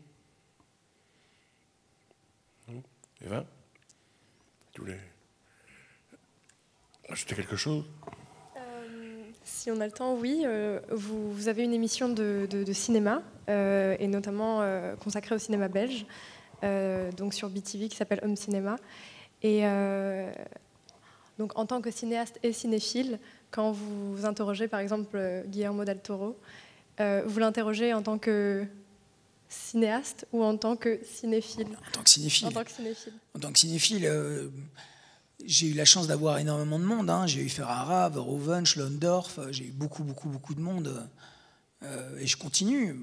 Bon, alors maintenant, vu les conditions sanitaires, l'émission a un peu changé, mais par exemple, là, dans quelques jours, je vais faire une émission avec Benoît Poulvord, qui, qui, a accepté donc on va faire une émission très très longue avec lui. Où, euh, bon alors il se trouve que je le connais bien, mais je suis très très curieux de l'entendre euh, sur les grandes articulations de sa carrière, parce que c'est quand même quelque chose d'assez incroyable. Euh, non, j'adore faire ça. J'adore faire ça. J'adore parler, j'adore écouter les gens parler de leur parcours. Je trouve ça toujours très très très étonnant. Euh, que ce soit, euh, j'ai eu Doyon aussi un jour, euh, Doyon dont je connaissais très très peu le cinéma, le cinéma et, j'avais préparé l'émission parce que j'essaie toujours de préparer de manière attentive, de connaître assez bien les films des, cinéastes. J'ai appris plein de choses avec Doyon, vraiment. Il y a presque un effet miroir quand on a des cinéastes comme ça parce que tu te projettes toujours dans la carrière de l'autre. Tu dis, mais qu'est-ce que j'aurais fait si j'avais été, été lui? Après, il y a des gens que j'adule, comme Del Toro, qui est un cinéaste très très important pour moi, dont j'ai vu tous les films, dont, la, carrière me, passionne, et qui est un cinéaste euh, ésotérique et métaphysique absolument euh, renversant. Quoi. C'est, il est arrivé... Euh, en fait, il est, il est ce que Jodorowsky aurait dû être. Il est le grand cinéaste populaire de l'ésotérique. Et c'est fascinant, c'est fascinant d'entendre parler Del Toro. Parce que Del Toro, c'est c'est un cerveau, euh, c'est une machine, quoi. rien n'est laissé au hasard. N'importe quelle chose dans son cinéma, n'importe quelle image, n'importe quelle couleur, il peut la justifier. Il peut la justifier pendant des heures. Tous ces films, euh, même les films les moins personnels, euh, même ces galères sont absolument incroyables. Ça, c'est vraiment fascinant. C'est vraiment. Je pense qu'il y a très très peu de, de cinéastes qui sont aussi euh, qui sont des cerveaux comme ça. Des, euh, bon, bien sûr, il y, avait Kubrick, il y avait Chabrol, peut-être Bon Joon-ho, qui, est aussi un, cinéaste euh, cerveau. Quoi. C'est, des gens qui ne laissent rien au hasard. Tout est profondément, profondément étudié. Il n'y a, aucune, là, tu vois, par rapport à ta question, il n'y a aucune, aucun accident. Quoi. Il y a quelque chose qui est profondément pensé, étudié, revisité. Et ça, c'est quelque chose qui m'apprend beaucoup et que j'ai toujours beaucoup de plaisir à parler avec euh, mes pères de cinéma. mais je ne parle pas de, de, moi en tant que ciné, cinéaste. Hein. Non, non, je suis vraiment dans une, dans une approche très, très. Euh, ouais, très, très. Je suis à l'écoute, quoi. Je, veux vraiment comprendre comment ils font. Et puis les époques sont différentes.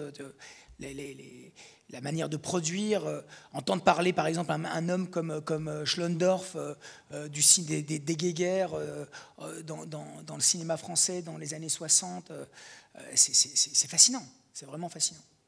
du cinéma allemand à la fin de la... au début des années 60, début des années 70, avec l'émergence des nouveaux cinéastes qui n'avaient pas de père, euh, qui n'avaient que des grands-pères à cause de la guerre et tout ça. Enfin, c'est des problématiques qu'ils ont, qu'ils ont, qu'ils ont, qu'ils ont traversées. L'exil en France, pour la plupart. Enfin, tout ça est quelque chose de. Mais c'était une, c'était une époque où le cinéma euh, résonnait, où il y avait vraiment une. Euh, c'était politique. Aujourd'hui, c'est beaucoup plus du divertissement.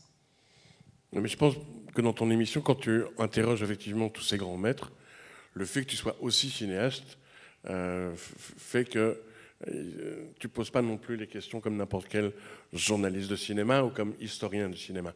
Et qu'ils s'adressent aussi à toi, certes, ils savent que tu es cinéphile, mais aussi en tant que, collègue et camarade. Oui, pas toujours, parce que parfois ils savent pas du tout. Hein. Parfois ils savent pas, et puis euh, je viens pas là. je, non, parfois ils savent pas du tout. C'est juste après, ils se disent ah, c'est parce que l'émission est un peu longue. Et puis, comme ils sont dans des routines, de, tu vois, des, routines un peu chiantes avec, euh, tu vois, des questions idiotes souvent la plupart du temps. C'est-à-dire que euh, ils voient déjà que je m'intéresse véritablement. On voit quand, quand quelqu'un connaît sa matière et que, et donc à un moment donné, c'est juste. Euh, et puis, le, je pense que le, cinéma est un langage, est un langage de passionnés. Et, donc, à un moment donné, quand les gens bah, sont passionnés, bah, ils deviennent forcément passionnants. Quoi. je, pense que le cinéma est vraiment... Euh, oui, c'est vraiment un, c'est un art, bien sûr, c'est une industrie, mais c'est aussi un art de communiquer, de transmettre. Je suis convaincu de la, de la, de la puissance pédagogique du cinéma. Je pense qu'on peut apprendre énormément de choses. Là, j'apprends parfois que dans certaines écoles de cinéma, euh, on montre des extraits de films. On ne montre pas les films, on montre des extraits de films. Je dis quoi? Je ne comprends pas en fait. Je, pense que c'est fondamental de montrer les films, de parler des films, de. enfin, je, pense qu'il y a, je pense que c'est fondamental. Je pense que il y a quelque chose à faire, il y a, quelque chose à transmettre avec le cinéma qui, peut être profondément euh, euh, valorisant euh, et constituant. Quoi. Mais toi qu'on n'a pas laissé rentrer à l'INSAS en section cinéma, mais qu'on avait envoyé en section euh, mise en scène. Euh, moi, je, connais l'anecdote, mais est-ce que, tu veux bien raconter l'anecdote? Pourquoi? Ce, ce que t'as dit le jury de l'inceste quand ils ont refusé que tu Ah oui, oui, rentres ça, en cinéma? bah, Non, mais pour qu'on comprenne. Bah, c'était terrible. C'était l'année de, c'était l'année de la haine et de Reservoir Dogs. Et euh, à la dernier, au, de- au dernier examen d'entrée, donc je suis confronté à un parterre de, cinéastes et de, gens, de professionnels. Moi, je suis un gamin. euh, et euh, ils me disent, à la toute fin, ils me disent euh, récemment, qu'est-ce que vous avez vu comme film et qu'est-ce que vous avez aimé? Et je dis bah, Je viens de voir Reservoir Dogs. J'ai vu La haine. Et J'ai Réservoir Dogs, j'ai adoré quoi. Tarantino, je connais tout ça.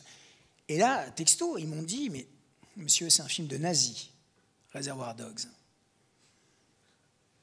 Et là, j'ai tiqué, je dis Mais, je dis, mais non, enfin, nazi, mais où vous voyez des nazis dans Réservoir Dogs? Non, non, c'est un film de nazi. Et n'ont même pas étayé, c'est-à-dire c'était. Et encore une fois, ce sont des gens de gauche qui sont qui font des films sur les Palestiniens, quoi. Donc, euh, c'est ça qui est terrible, en fait. C'est que et c'est ça que j'ai trouvé toujours absolument déplorable euh, et que je ne comprends pas, c'est que moi, je peux aimer Ozu et, Jess Franco. Je, peux sincèrement aimer Ozu et Jess Franco. Je, je peux en parler. Mais je n'ai pas d'a priori ou de jugement péremptoire sur les gens. Alors bien sûr, il y a des cinéastes qui sont nauséabonds, comme il y a des écrivains qui sont nauséabonds, comme il y a des peintres qui sont nauséabonds. Mais avoir des jugements, en tout cas sur euh, un film, parce qu'ils ne comprenaient pas la pop culture, tout simplement.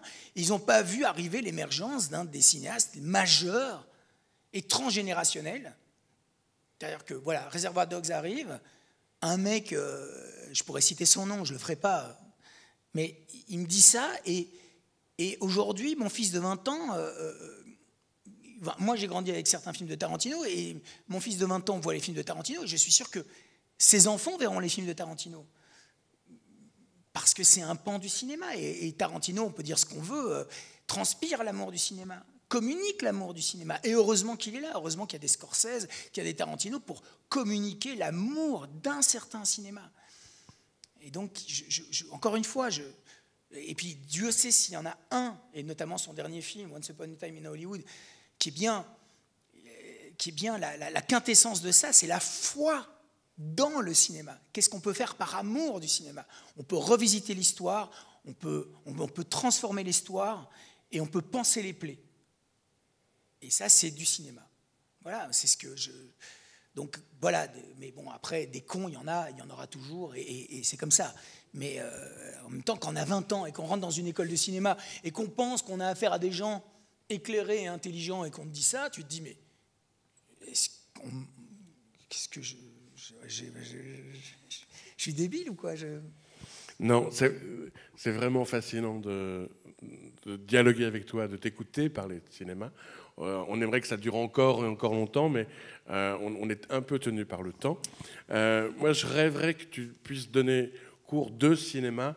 Alors, peut-être pas dans une école de cinéma. En tout cas, je te vois mal aller à l'Assas, effectivement, après ce qu'ils t'ont fait. Mais ils n'ont jamais voulu de moi à l'INSAS. Par et contre, à je- l'IAD Non, mais par contre, maintenant, je donne cours au conservatoire ici et à la FEMIS.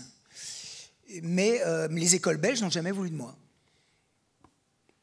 J'ai été voir, hein. vous savez que j'ai été voir à l'INSAS, j'ai été voir le directeur de l'INSAS, et je lui ai dit plusieurs fois, je lui ai dit, mais je ne veux même pas être payé. Je veux juste transmettre, transmettre mon amour du cinéma. Bon, il préfère, il préfère certains autres. euh, Voilà. bon, je- Alors moi, je pense que tu as quand même une possibilité à la Cinémathèque Royale, parce qu'effectivement, Oui, oui, ben, voilà, je- tu pourrais avoir ton ciné-club.